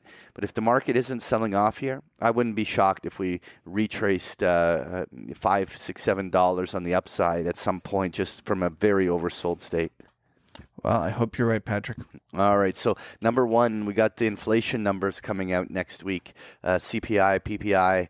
Uh, anything you're watching for there, or just more of the same? I don't know. It's uh, kind of interesting today how the unemployment number was so strong. And it really is becoming a tale of two markets. It's Main Street is keeps being just smoking strong, and Wall Street's doing terrible. And if you think that that's going to continue, then you might see a situation where the CPI also uh, exceeds on the upside. Brent Donnelly uh, uh, had this terrific chart where he says something like 13 of the last um, payroll numbers or unemployment numbers yeah. have exceeded expectations. And it's just like that's, it just means that economists are underestimating the strength of the economy. Or the manipulation of the numbers is doing very well. okay. Did I take say your, that? T- take your tinfoil hat off. That's for the other show. And just realize that maybe the economy is stronger than we think. And this really leaves you with a real dilemma. What if the economy is stronger, yet that means the Fed has to be tighter? And you might think that the economy being stronger means stocks will do better, but it might not be the case. And you always hear that people say that the economy is not the market and, and the market is not the economy. And I think actually Neil said that in our interview.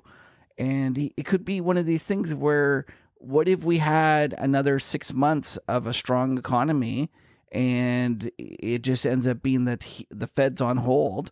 So the stock market has trouble get going anywhere, yet the economy continues to be strong. Yeah. In, a, in kind of an almost ironic way, Patrick, uh, the economy slowing down would be maybe the best thing for the stock market. Well, yeah, no, I, I, I uh, agree with you in some degree. Uh, the one thing that uh, I find interesting is is that um, the market tends to play the, the role of the great humiliator. It uh, it it never does what the market, uh, what all participants are uh, think in consensus.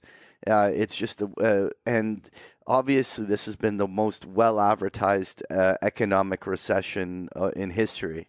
Uh, everyone is certain that it's playing out, and so I think the market may just, uh, you know, have a different path from which uh, this all plays out. It just, it, it, I think inevitably, when you raise interest rates this magnitude, some sort of an economic recession will be the byproduct of it. But uh, how we get there uh, how long it takes for the market to react, what it, whether the market goes higher first, all sorts of big questions out there. Uh, and uh, you know, this is where uh, looking at some of the uh, squiggles on on these charts uh, can give a little bit of a path. Anyway, so let's talk some charts then. so you were talking about this big reaction uh, by um, uh, you know to the FOMC and Powell. But uh, when you look at really what the S&P did in the last couple days, uh, it ju- it doesn't look any different than any other sequence of buying and selling we've seen all year.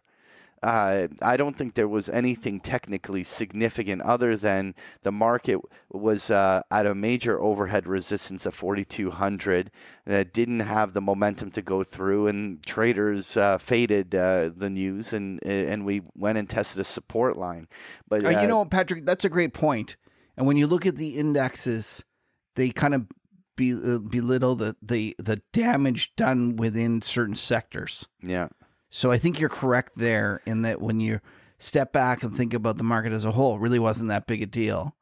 Right, it and, really and, felt like certain sectors were just absolutely demolished. So, so here I have a 200-day moving average. I drew uh, with a thick enough crayon the ascending trend line of uh, some of the lows. Uh, we did almost uh, even uh, a basic thing like uh, was the market pullback didn't even reach a 50% retracement. It was a 38% retracement pullback. It, there, the bulls are completely in control of this market still. Uh, there has not been any bearish price action yet and uh, and so it, it's just too early to get excited about the downside. We just haven't seen um, uh, uh, the Bulls drop the ball. There hasn't been a turnover yet, and uh, and with this type of a consolidation, if uh, if we see that uh, the market just brushes this all off, it'll be really interesting to see whether that 4,200 level the Bulls give it another attempt to break it out. If that's the case, maybe the market still has enough gas in the tank to hit 4,300 or 4,400 on the upside on the short term. All things that I still don't want to rule out. Uh, you know, even though uh, you know that I, have got a little bear inside of me that's waiting for uh, for the next major downturn in this market, but just don't lie. Uh, it's, it's not it's a, a, little it's a, bear. It's, it's, a pretty big bear. Uh, but but uh, there is just no real technical reason to believe that uh, um, that it's underway now, and uh, and so it's it, will be really interesting. What I continue to to find fascinating though, Kev, is like this is the S and P 500 chart testing that 4200. But when you look at the S and P 500 equal weight index, um, th- it looks like the Russell. It, it could. Oh uh, no! We, yeah, it, like, it's become so narrow. What's going yeah. up? that even even you're right. Even the even the equal weight index looks like crap. It looks of like the 500. It, it, yeah. it, and you know, and the uh, the the big fangs continue to do their work. Like Apple just had its earnings. Uh, look at that rip higher. Uh, just uh, just did not want to quit. Uh, it's now coming to retest uh, its major high up along here. Be interesting to see whether uh, uh, traders are willing to to to you know keep Apple going to a fresh new high. Uh, uh, it's amazing to see that strength, but it's like Microsoft continues to look uh, great. Uh, Nvidia. Uh, chart continues to, to keep ripping. You know, obviously Google and and Amazon have been the dogs out of the group, but but overall, even like Meta, uh, I, I, I hate the fact that they changed it to Meta. Like uh, I keep wanting to say Facebook. I, have you have you started calling it Meta, or are you still call it Facebook? No, I still try to dial F or, or FB or whatever it is. So uh, anyway, but um, they like these charts still continue to be very bullish. But the question is, uh, okay, so even just yesterday, from a market breadth perspective, only 34% of stocks were above their 50-day moving averages. and so for an S&P that is basically uh, was trading uh, pretty much near 6-month highs and uh, and basically 2 out of 3 stocks are not participating. It's a, it's a, the breath is, is crazy, and so the the the, the thought on that thing is like, what would be the most bullish scenario is the breadth returns, right? Can you imagine suddenly the stock market gets much more broadly bought and more sectors participate? That could be the fuel, but it but if that doesn't happen, I just don't see how these FANG stocks, these these behemoth stocks, can actually take the stock market higher alone. And so you have to build an argument as to why the breadth will return to the market in order to be really bullish. Do you have an argument for that? I don't. Listen, I'm with you. I, I I'm flabbergasted at how bad the average stock is doing and how well those top five names are doing. And I'm sympathetic to the argument that this is uh, what you see at the end of a bull market. It just gets narrower and narrower and narrower, and this is what you Ooh, see. uh, This- That that Listen, was like music to my to ears. I, I I'm sympathetic to that argument, uh, but I I I don't know. I I I- I'm also a big believer in, in Dario Perkins, who says that this wasn't a regular cycle, and too often we're trying to put regular playbooks. Uh, we're trying to attach regular playbooks to something that is dramatically different, and that's what I'm struggling. I, I still think uh, interest rates matter, and when you have um, this kind of a, a rise in interest rates in 18 months, uh, it's um, it's going to impact the economy, and so you can try to tell give me that cycle shit, but you, the, these interest rate rises were real, and the impact is real. I I I, uh, I think it's going to trickle in. It just obviously isn't happening as fast as everyone wants it to. Uh, but uh, the, the impact of these interest rates will inevitably show up. Anyway, I want to talk. I, I'm not disagreeing. The only question is, Patrick, how much of that's already in there? Yeah, that's and how uh, much do you need how how much yeah. of a decline or how much of a slow economic slowdown do you need for for it to be worth like it to exceed expectations and that's what we're really kind of debating Yeah. Yeah, because so- everyone uh, you know if it doesn't slow down and things just can if we actually reaccelerate then it'll be it'll be frustrating because interest rates might not come down and, and we're really kind of debating the two sections between the p and the e right? Like the e could go back up yet if we're going to put a lower p ratio on it because the e is is associated with higher rates then it's difficult. And then the other problem is do you, everyone thinks that uh, PEs are related to interest rates, meaning that as interest rates go down, PE should go up. But if you actually go back and look in history, that's not the case. They're not as related as you as you might Yeah. guess. So lots of different parts and you know different issues there. Yeah. Anyway, I want to circle back to some of these currency charts. Uh, did you happen to see uh, this uh, move on the uh, the U.S. dollar Canadian dollar cross? I sure did. It's one of my favorite currencies. it is honestly. I love CAD. Everyone thinks I'm an idiot, but I love it. So, what do you make of this? You you, you think it's going to break this uh, key support line at 133? Oh, I don't know. You know me. I'm bullish, so I think it's going to keep going. Yeah, but uh, I, I love it. I think that en- energy is um, long term. I'm an energy bull. I look at what he's doing, what Trudeau is doing. I know everyone hates him, but let's let's just kind of look at his policies instead of his politics. His policies are he's increasing immigration and he's spending more. Both of those are very positive for the economy. Uh, there's there's all sorts of uh, worry priced in already about our housing market collapsing. And even though I am the first one to say it is overpriced and kind of loony, um, it, it's going back up, Patrick. It- Yeah. It, it's headed back up. So, and I guess that's what happens when you just keep letting in. It's like you know, I think he's going to let in two million people or some crazy number like that. And this is just got it's it's got all the the the the fuel for fire for an upward move. And if, if we get oil going back up, I think we're gonna we're gonna rock and roll. So, anyways, I love it. All right. So uh, I wanted to touch on this gold chart. First of all, you realize that uh, once again you were just too early. That uh, gold bet we made uh, two weeks ago, uh, or four, uh, four weeks ago, uh, it, you would have won if you if you just. I uh, know. Two weeks later, Two weeks. so later. everyone should just kind of you know take whatever I whatever I say, You're listen to the podcast. Oh yeah, or listen to the podcast a couple weeks later. That's Or if exactly. you're reading it. my letter of your subscriber, just put it away. Just kind of put it in the unread pile for a couple weeks and then read it. then read it. That's Yeah. Some and sometimes six months uh, later would be a good enough. not two weeks. Anyway, the uh, but um, what an interesting pop and drop. Uh, I ask a simple question: um, Could that have been a prairie dog? I don't want to talk about this too much. I'm not going to say anything except that I will repeat I am not a big technician, but I do live by one rule. And you know the rule there's no such thing as a triple top. Yeah, but that again.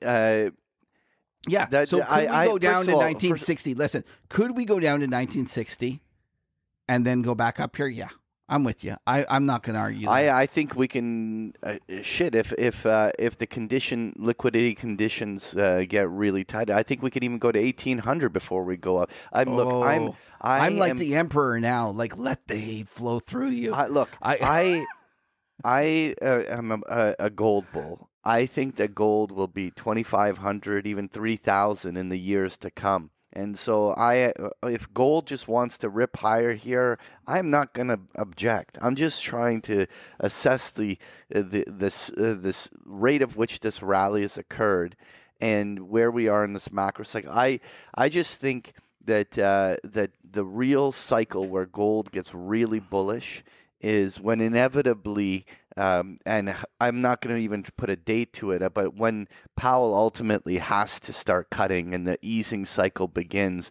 I think that's going to be truly the the moment where gold uh, has its uh, day in the sun, and that could be a year away.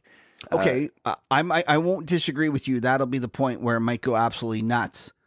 But how do you know that's not going to start from 2300 or 2500 to go to 3500? Yeah, And I I, I just- just I'm telling you, this is the most hated rally I've ever seen.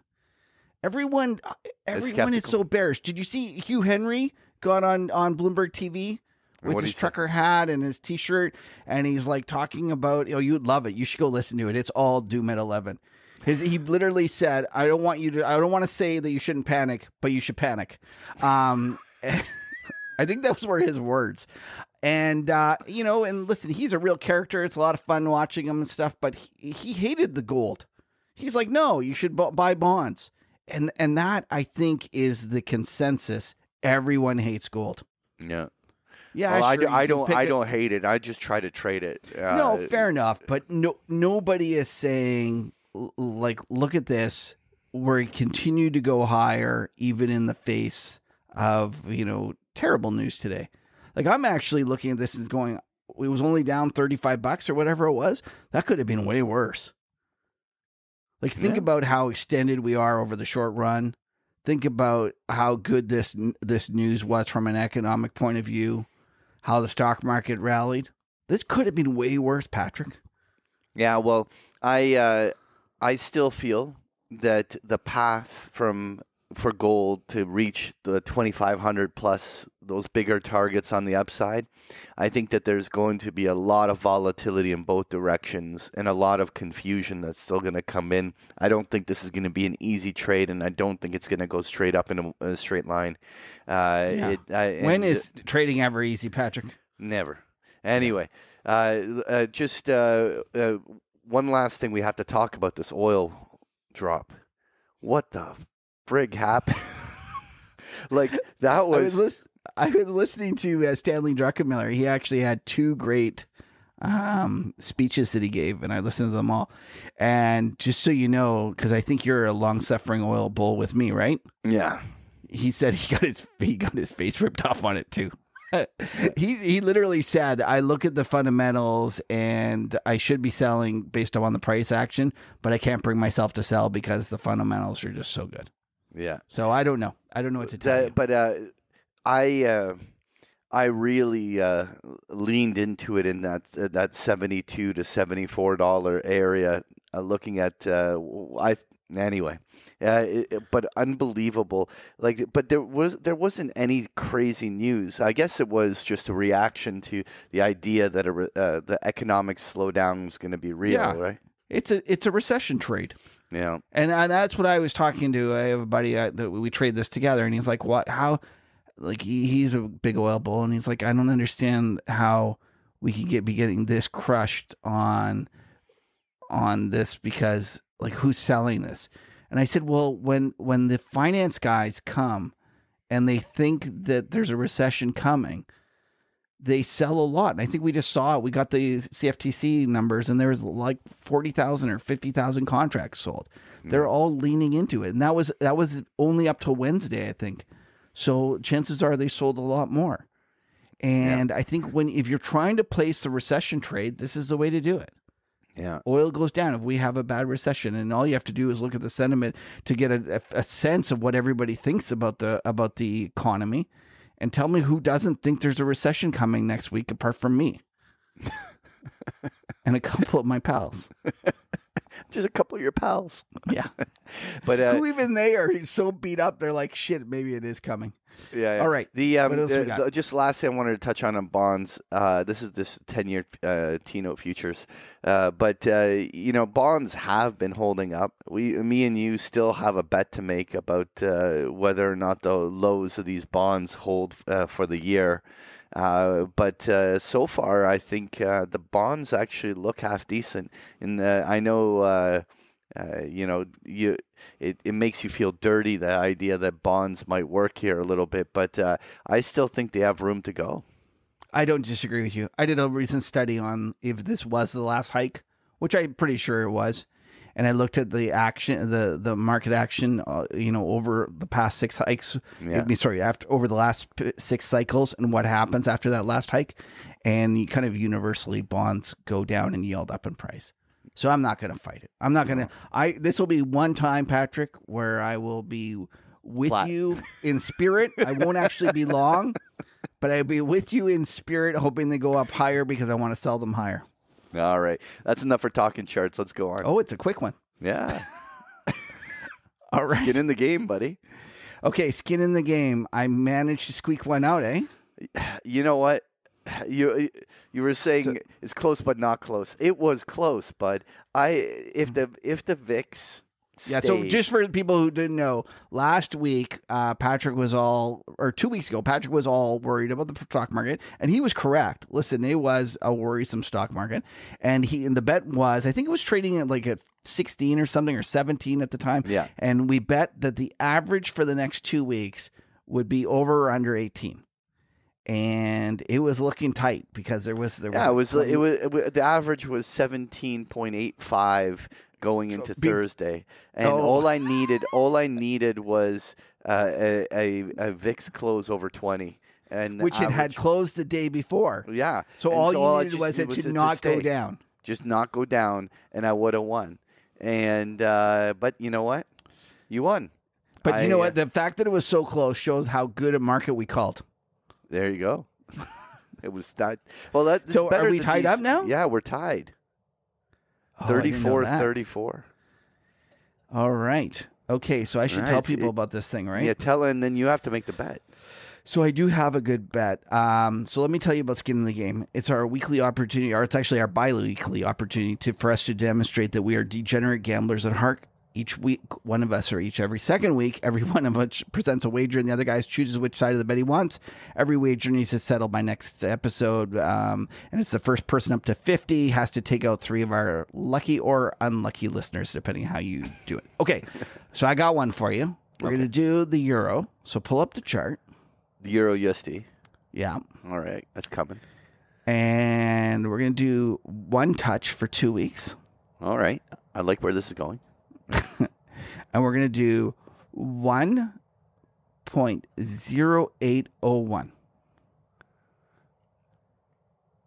Okay, so even up one one oh eight one point oh eight oh one.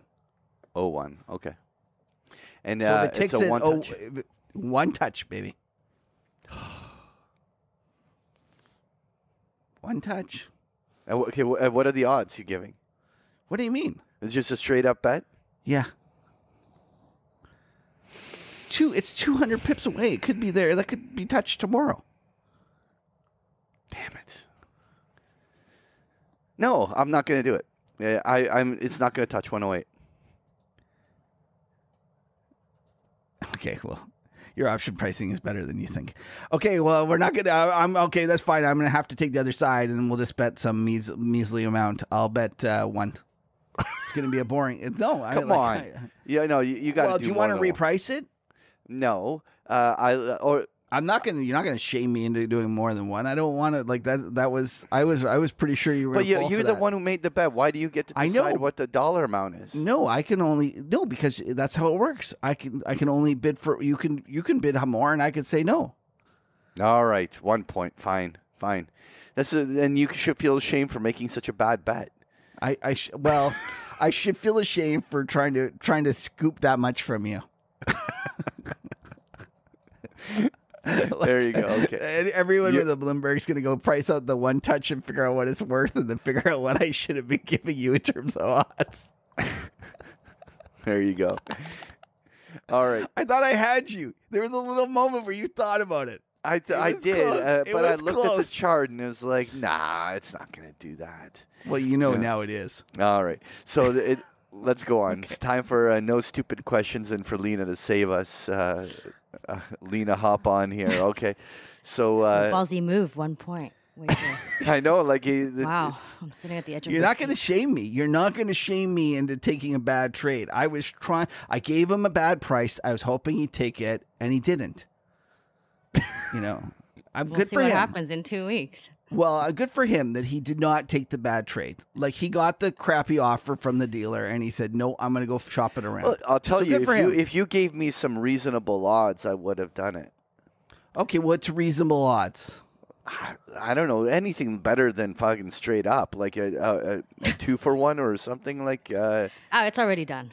and it's it's already done. the moment has ju- passed. Anyway, all right. Anyway, we're we're on to no stupid questions. So Lena, save us with some uh, questions here. First question here. Hi, guys. As you're aware, the three month, 10 year curve is deeply inverted. What's the simplest way for a retail trader to bet on the curve steepening back to its natural state? Thanks for all the laughs and great information. So here, want I've, I've- yeah, yeah, yeah, for sure. But I just want to show the chart here. But yeah, it. I mean, at one point we were at two percent, negative minus two percent on that. Unbelievable how how deep this has gone. Uh, I know you've been trying to place uh, steepeners, uh, but this uh, this is one part of the curve that just has not uh, not reacted. At least the twos have already reacted, right? Twos tens. Right. So th- that's part of the problem here is that you are dealing with the three month, which is basically Fed policy, right? Fed funds Yeah. policy. Um, so the long and short of it is the easiest way for a retail trader to do this, unfortunately, involves futures. So you have to feel comfortable enough with futures. In the old days, they were- called Eurodollar futures. And they weren't based upon the euro like the currency. They were based upon euro US dollars, which is basically US dollars that were traded overseas between banks. And it was an interest rate. And the good thing about these futures is that they don't trade on a price, they trade on a yield. So the value of the uh, contract is 100 minus the yield at that time. So if you went and bought one contract, you wouldn't have to duration hedge it. You could just sell another contract, and the yields would um, would would move, and you could therefore bet on yield curves more easily through Eurodollar futures. Now they don't really trade anymore. They've actually gone, and it's something called SOFR. S O F R.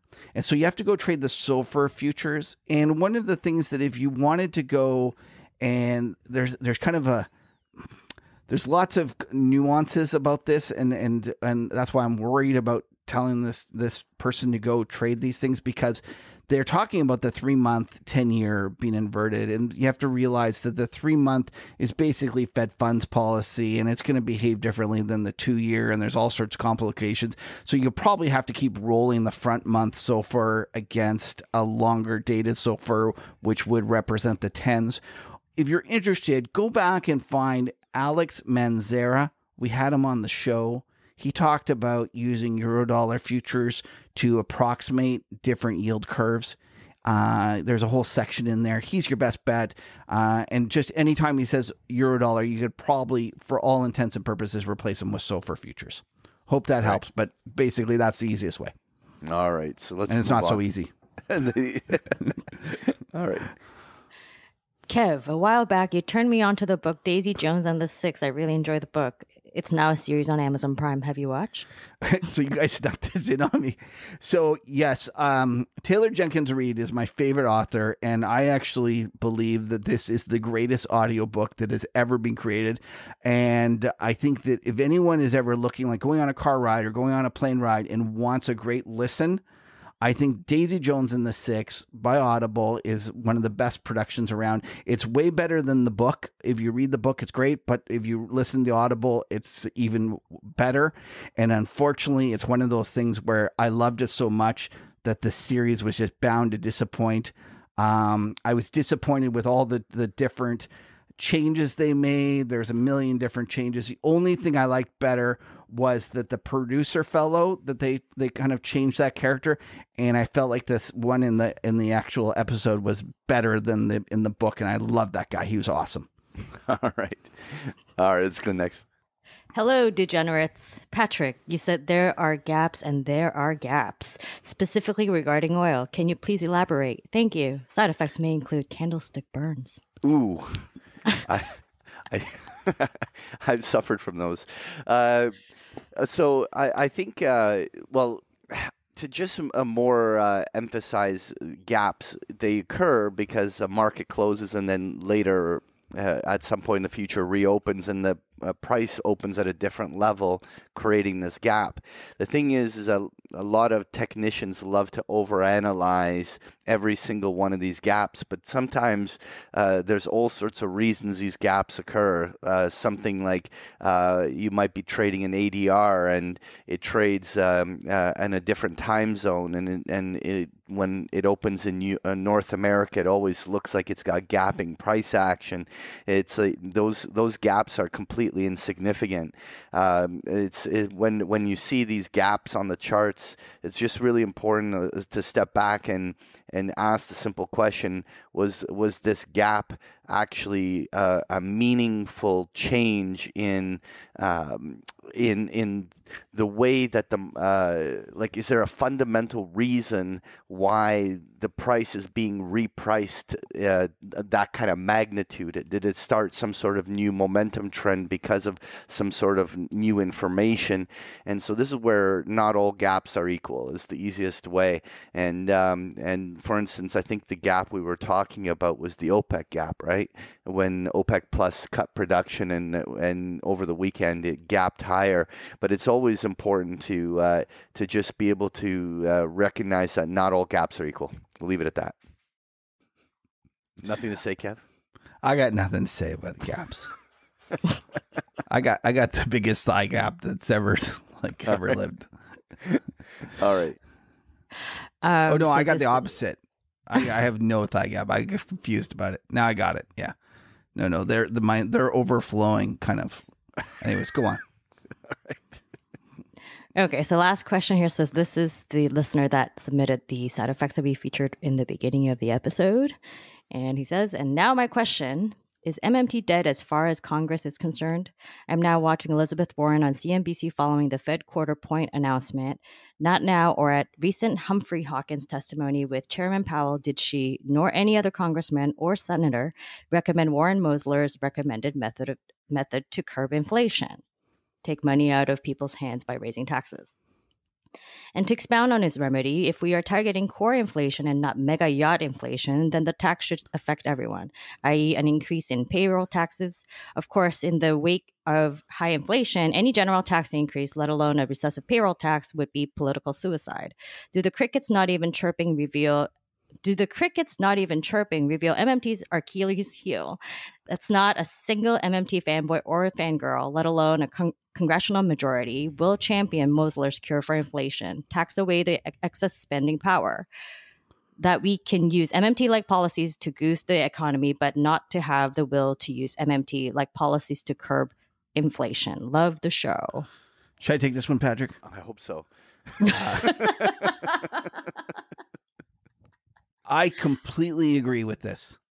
I I think it's uh, uh it, it's an embarrassment that they are not um that MMTers were so quick to explain that inflation would become uh was caused by supply side infl- uh the supply side problems. And yes, there were supply side problems, but on the whole, we gave everyone money. Of course, we had inflation. So if um, instead of celebrating that they that they that that they could create inflation and that they could actually say help the economy and say like okay we we know that we didn't end up in some sort of deflationary doom loop like everyone thought but on the whole it looks like we way overdid it. And there's just no doubt about it 100% they overdid it. What they should be doing is saying yes it was successful. It was too successful. We made too much inflation. And exactly like Warren Mosler says, we should be taxing some of that back. And you know, this listener highlights that this was always Achilles, uh, the MMT Achilles heel. Again, I completely agree. And I would say that this is why, over the long run, I've always said MMT will come.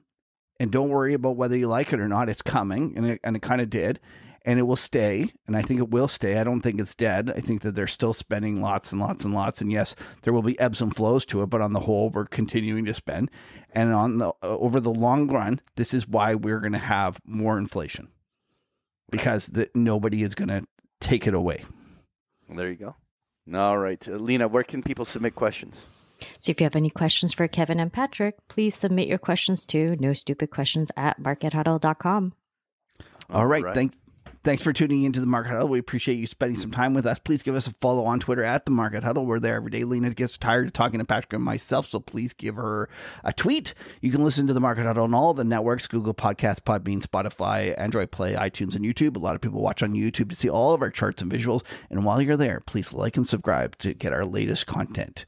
Uh, Patrick, where can they find you? You can follow me on Twitter at Patrick Ceresna or uh, find me at bigpicturetrading.com. Kev, where can they follow you, buddy? They can go check out the macrotourist.com. And listen, if you want to come and chat with me and the great group of folks that we have in my uh, Substack chat, just go to the macrotourist.com backslash chat. Uh, listen, we can never have too many friends. Bear market, bull market. We're just happy to spend some time together on this crazy ride. Now stick around for the after show. All right, so All it's right. my turn to rate the beer, right? Yeah, go for well, it. Actually, both of our turns. Um, I like it. Again, I can't remember what I gave the last one. You no, you gave a ridiculous really uh, like nine point one or something crazy. Well, yeah. I like this one better, so it's what? going nine point three. um, I like free beer first of all, and I, I guess it's just the um, the Vermont thing. Like I just I like it. They're just the New England. It just speaks to me. It's got skiing. I don't. It's after. It's soft. Like it's. Soft.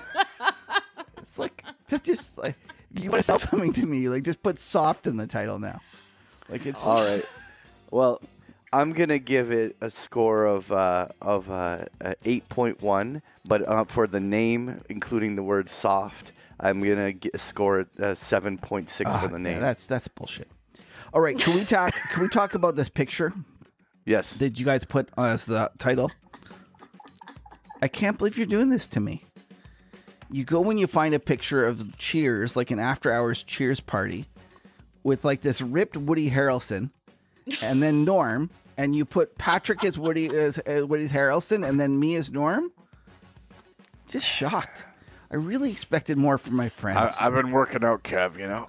Just expected more from my friends. Well, that was when Pat had. Yeah. Abs. I really just, you know, well, just kind of. I, I, I still have those abs. It's just I'm doing a load of towels on the on the washboard stuff. It's just sad. It just saddens me that you're taking shots at me like that. Oh uh, my. Oh gosh. Okay, I got a new show for everyone. Hey, Oh, before, oh do you want to talk about something else? Okay. Yeah, oh. well, listen, I just wanted to say I hope you guys have a great time at the Huddle Piss Up, bud. Oh, yeah. So if oh, anyone's right. interested, um, we are having a little mini Huddle Piss Up. Uh, and I'm not going to be there. I know. Unfortunately, Patrick's not going to be there, or you may be. Fortunately, you depending on how you look at things. Um, but but Kuppy's made it so you got to like audition for it. So if you're interested in auditioning for it, go and actually um, look at his uh, on his uh, Twitter feed on his Twitter feed and pull it up. And if you're really stuck and you really want to go, maybe give me an email and I might be able to squeeze you in. We'll see how it goes. I might have an extra ticket or two. But uh, anyone that's made it this long in the show is a real fan. So I might I might make it I might be able to see if I can figure one out. But there won't be a lot of those, just so you know. I might have an extra one or two, but they will go quick. So if you're interested, just give me uh, uh, kind of uh, uh, an email, Kevin at the macrotourist.com. Okay. There you go, but you guys got to have a good time. Uh, Yeah. Oh, yeah. May. What day is it? Is it May eighth, 9th? Yeah, it's it's the Tuesday the 9th. See, you're the one that's going, and I'm the one that knows the date. Yeah, yeah. It's the 9th. Okay. Yeah, the 9th. Um, yeah, it should be a lot of fun. Uh, it sounds like he's got some great ideas already with people that have submitted stuff. I'm looking forward to it. The idea was to, to have one of these. You know how these the big hedge fund guys have hedge fund dinners, where everyone comes and they have to like present an idea.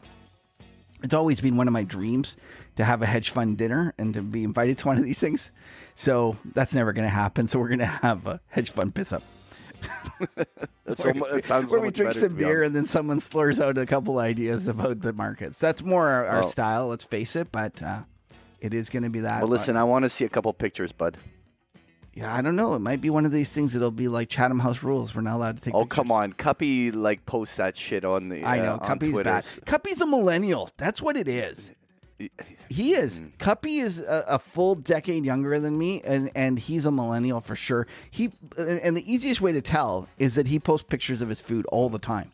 Yeah, no, that's that's Yeah. the big tell, hundred right? percent. Like, no Gen X will post uh, pictures of their food. That's that's uh, a millennial thing. A hundred. Completely agree. So I got a new show. It's- All right, what is Uh, Um, it's The Diplomat. Diplomat. It's with Keri Russell. Oh. What's it on? It's on Netflix. Oh. I love it. It's uh, it's it's one of my um, uh, it's one of my favorite shows I've I've had in a long time. It's, is it the first season? Yeah, I love it. I don't know if everyone else feels the same. Maybe like we should look at how many tomatoes. Let's see. Let's see the Rotten Tomatoes. 88%. Oh, see, that's too low. I, the markets are becoming more inefficient as I get older. Uh, of course, it's of course it's the markets and not me, right? Um, the diplomat, Lena, you were so fast on that. You sure you Yeah, got the right one? Are you sure you got the right one? Yeah, yeah. The It's like Diplomat. you've- 2023 drama, one season. Yeah. Uh, yeah, Keri Russell. Yeah, no, it's great. Lena, I think you'll really like it. Okay, I got something going back to the Gen X just quickly. All right. It's my favorite. I know I'm hopping all around here. Uh, it's my favorite meme that I've ever seen. And it's like, good luck coming for the Gen X generation. Every last one of them can fight. They put them into trading at age two, handed them to the keys to the house at age four, and had them cooking by seven and with neighborhood jobs at nine. Everyone over the age of 42 got some sort of story that starts with them fixing breakfast for school and ends with wire like wire like shit going down. They were escaping kidnappings, taking five subways solo at seven. Uh, like y'all, we as in he's a Exennial are soft. These people, I mean the Gen X, were built for survival. I'm just saying, if I had to pick a fight with a generation, I'm not fighting folks that were ironing their uniforms at age five and had 15 ways to get blood stain out out of their clothes so their Oh mom wouldn't get mad at ru- them ruining their clothes. They are the ultimate fuck around and find out generation. Yeah. I I, like the I, I, just have one. some. Uh, I I have I have stories of like uh, uh, some friends of mine. Uh, they were like what like nine years old or whatever at the time. They decide to make. Um, uh, uh, French fries at home by themselves, Oh, uh, no. and uh, boiling oil in uh, and thing, Fr- and Oh take fr- frozen French fries and uh, like Oh pour it straight into a thing and light the kitchen on fire and uh, and shit like this. Like like the shit that uh, that Gen Xers did when we were younger. Like Oh my It's- god! it- it- Did they burn the house down, Patrick? the kitchen, uh, it, it didn't get to the whole house, but the but the point is is that that shit happened. That's real. All the time. That was just Why like are you guys by yourselves at nine years old? that's what it did. It, you know what it was? It was because our mothers were the first generation that went to work. oh, right. right? Yeah. So it was, and they were still trying to figure out everything, and they were like, "Okay, I guess theoretically we should have some babysitting and stuff, but nah, let's just give them a key." Yeah, Yeah. I mean, They're they're gonna stay inside, so it's fine. Yeah. I mean, I used to stay home by myself. Yeah, I was, see, Uh, You know, it's got, below the accepted age to stay home by themselves. Yeah. I like the escaping kidnappings. it's true. Like Stranger danger. stranger danger. Okay, Uh, Lena wants all to get well- this done, so let, Yeah. let's call it an early one here. Yeah, I have yeah. I have a new podcast I started listening to by the way. Oh, okay. What is What I is go. it? I don't know if you told me. I feel like something you would have told me. Smartless. Oh, you mean with the with Jason, Jason Bateman? Bateman Oh yeah, that's one of the Will big. Arnett. Yeah, that's one of the biggest ones around. You really like it? Yeah, I started listening to I started listening to the Mike Myers episode first, Okay. and that was hilarious. Do as, you do, as expected? do you do you do you find that the multiple um, hosts is is conf- like? I feel like they would be better off with just two, and like take turns.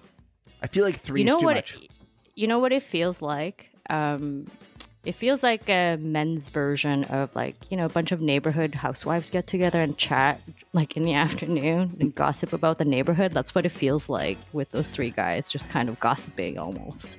That's what it feels like to me. I wonder if you know how I love listening to um, my uh, uh, my therapist ghosted me. Yeah. because I feel like it's it's um it's just I, I hear like how women really talk without men. Yeah. I wonder if that's a little part of it for you guys. This, but I must say, let's face it, men talk all the time, so it's really not like this is anything new. Like the, my therapist ghosted me, we don't usually hear what women are really saying behind the scenes. Uh, They say a lot of stuff. oh my god, have you My- listened? you, my do you- therapist goes to yeah, me. it's like you I'm, listen. I'm very surprised at some of the things that they discussed on the show. like openness. Like I was like, Yeah. I had what there was one time that the one woman said, "You- "You're not gonna you wait, you're, you're gonna tell that story," and like she was like, Yeah. and I was like. Oh my god, this is gonna be great! Like I was like, and she told the story, and it was listen, it wasn't that big a deal, but it just happened to be about something that, especially for someone in Ireland, that's like very like abortion. yeah, issue. there's Yeah. like there's there's one issue that's obviously very important, but she just told it matter of factly, and I was like, oh my god, like it's like hilarious. And uh, They're like, it's our show. We do what we want. Oh, God. What we want. so, have you found that you're getting used to uh, like understanding the lingo? Oh yeah. Yeah, like you got 100%. like when they say like that guy's a ride or that woman's a ride, like it's like it's Yeah, yeah. All the slangs and stuff. Yeah. It's it's very interesting. I think it's Sometimes when they say some like things that make me blush, I go, "Oh, Kevin listens to this."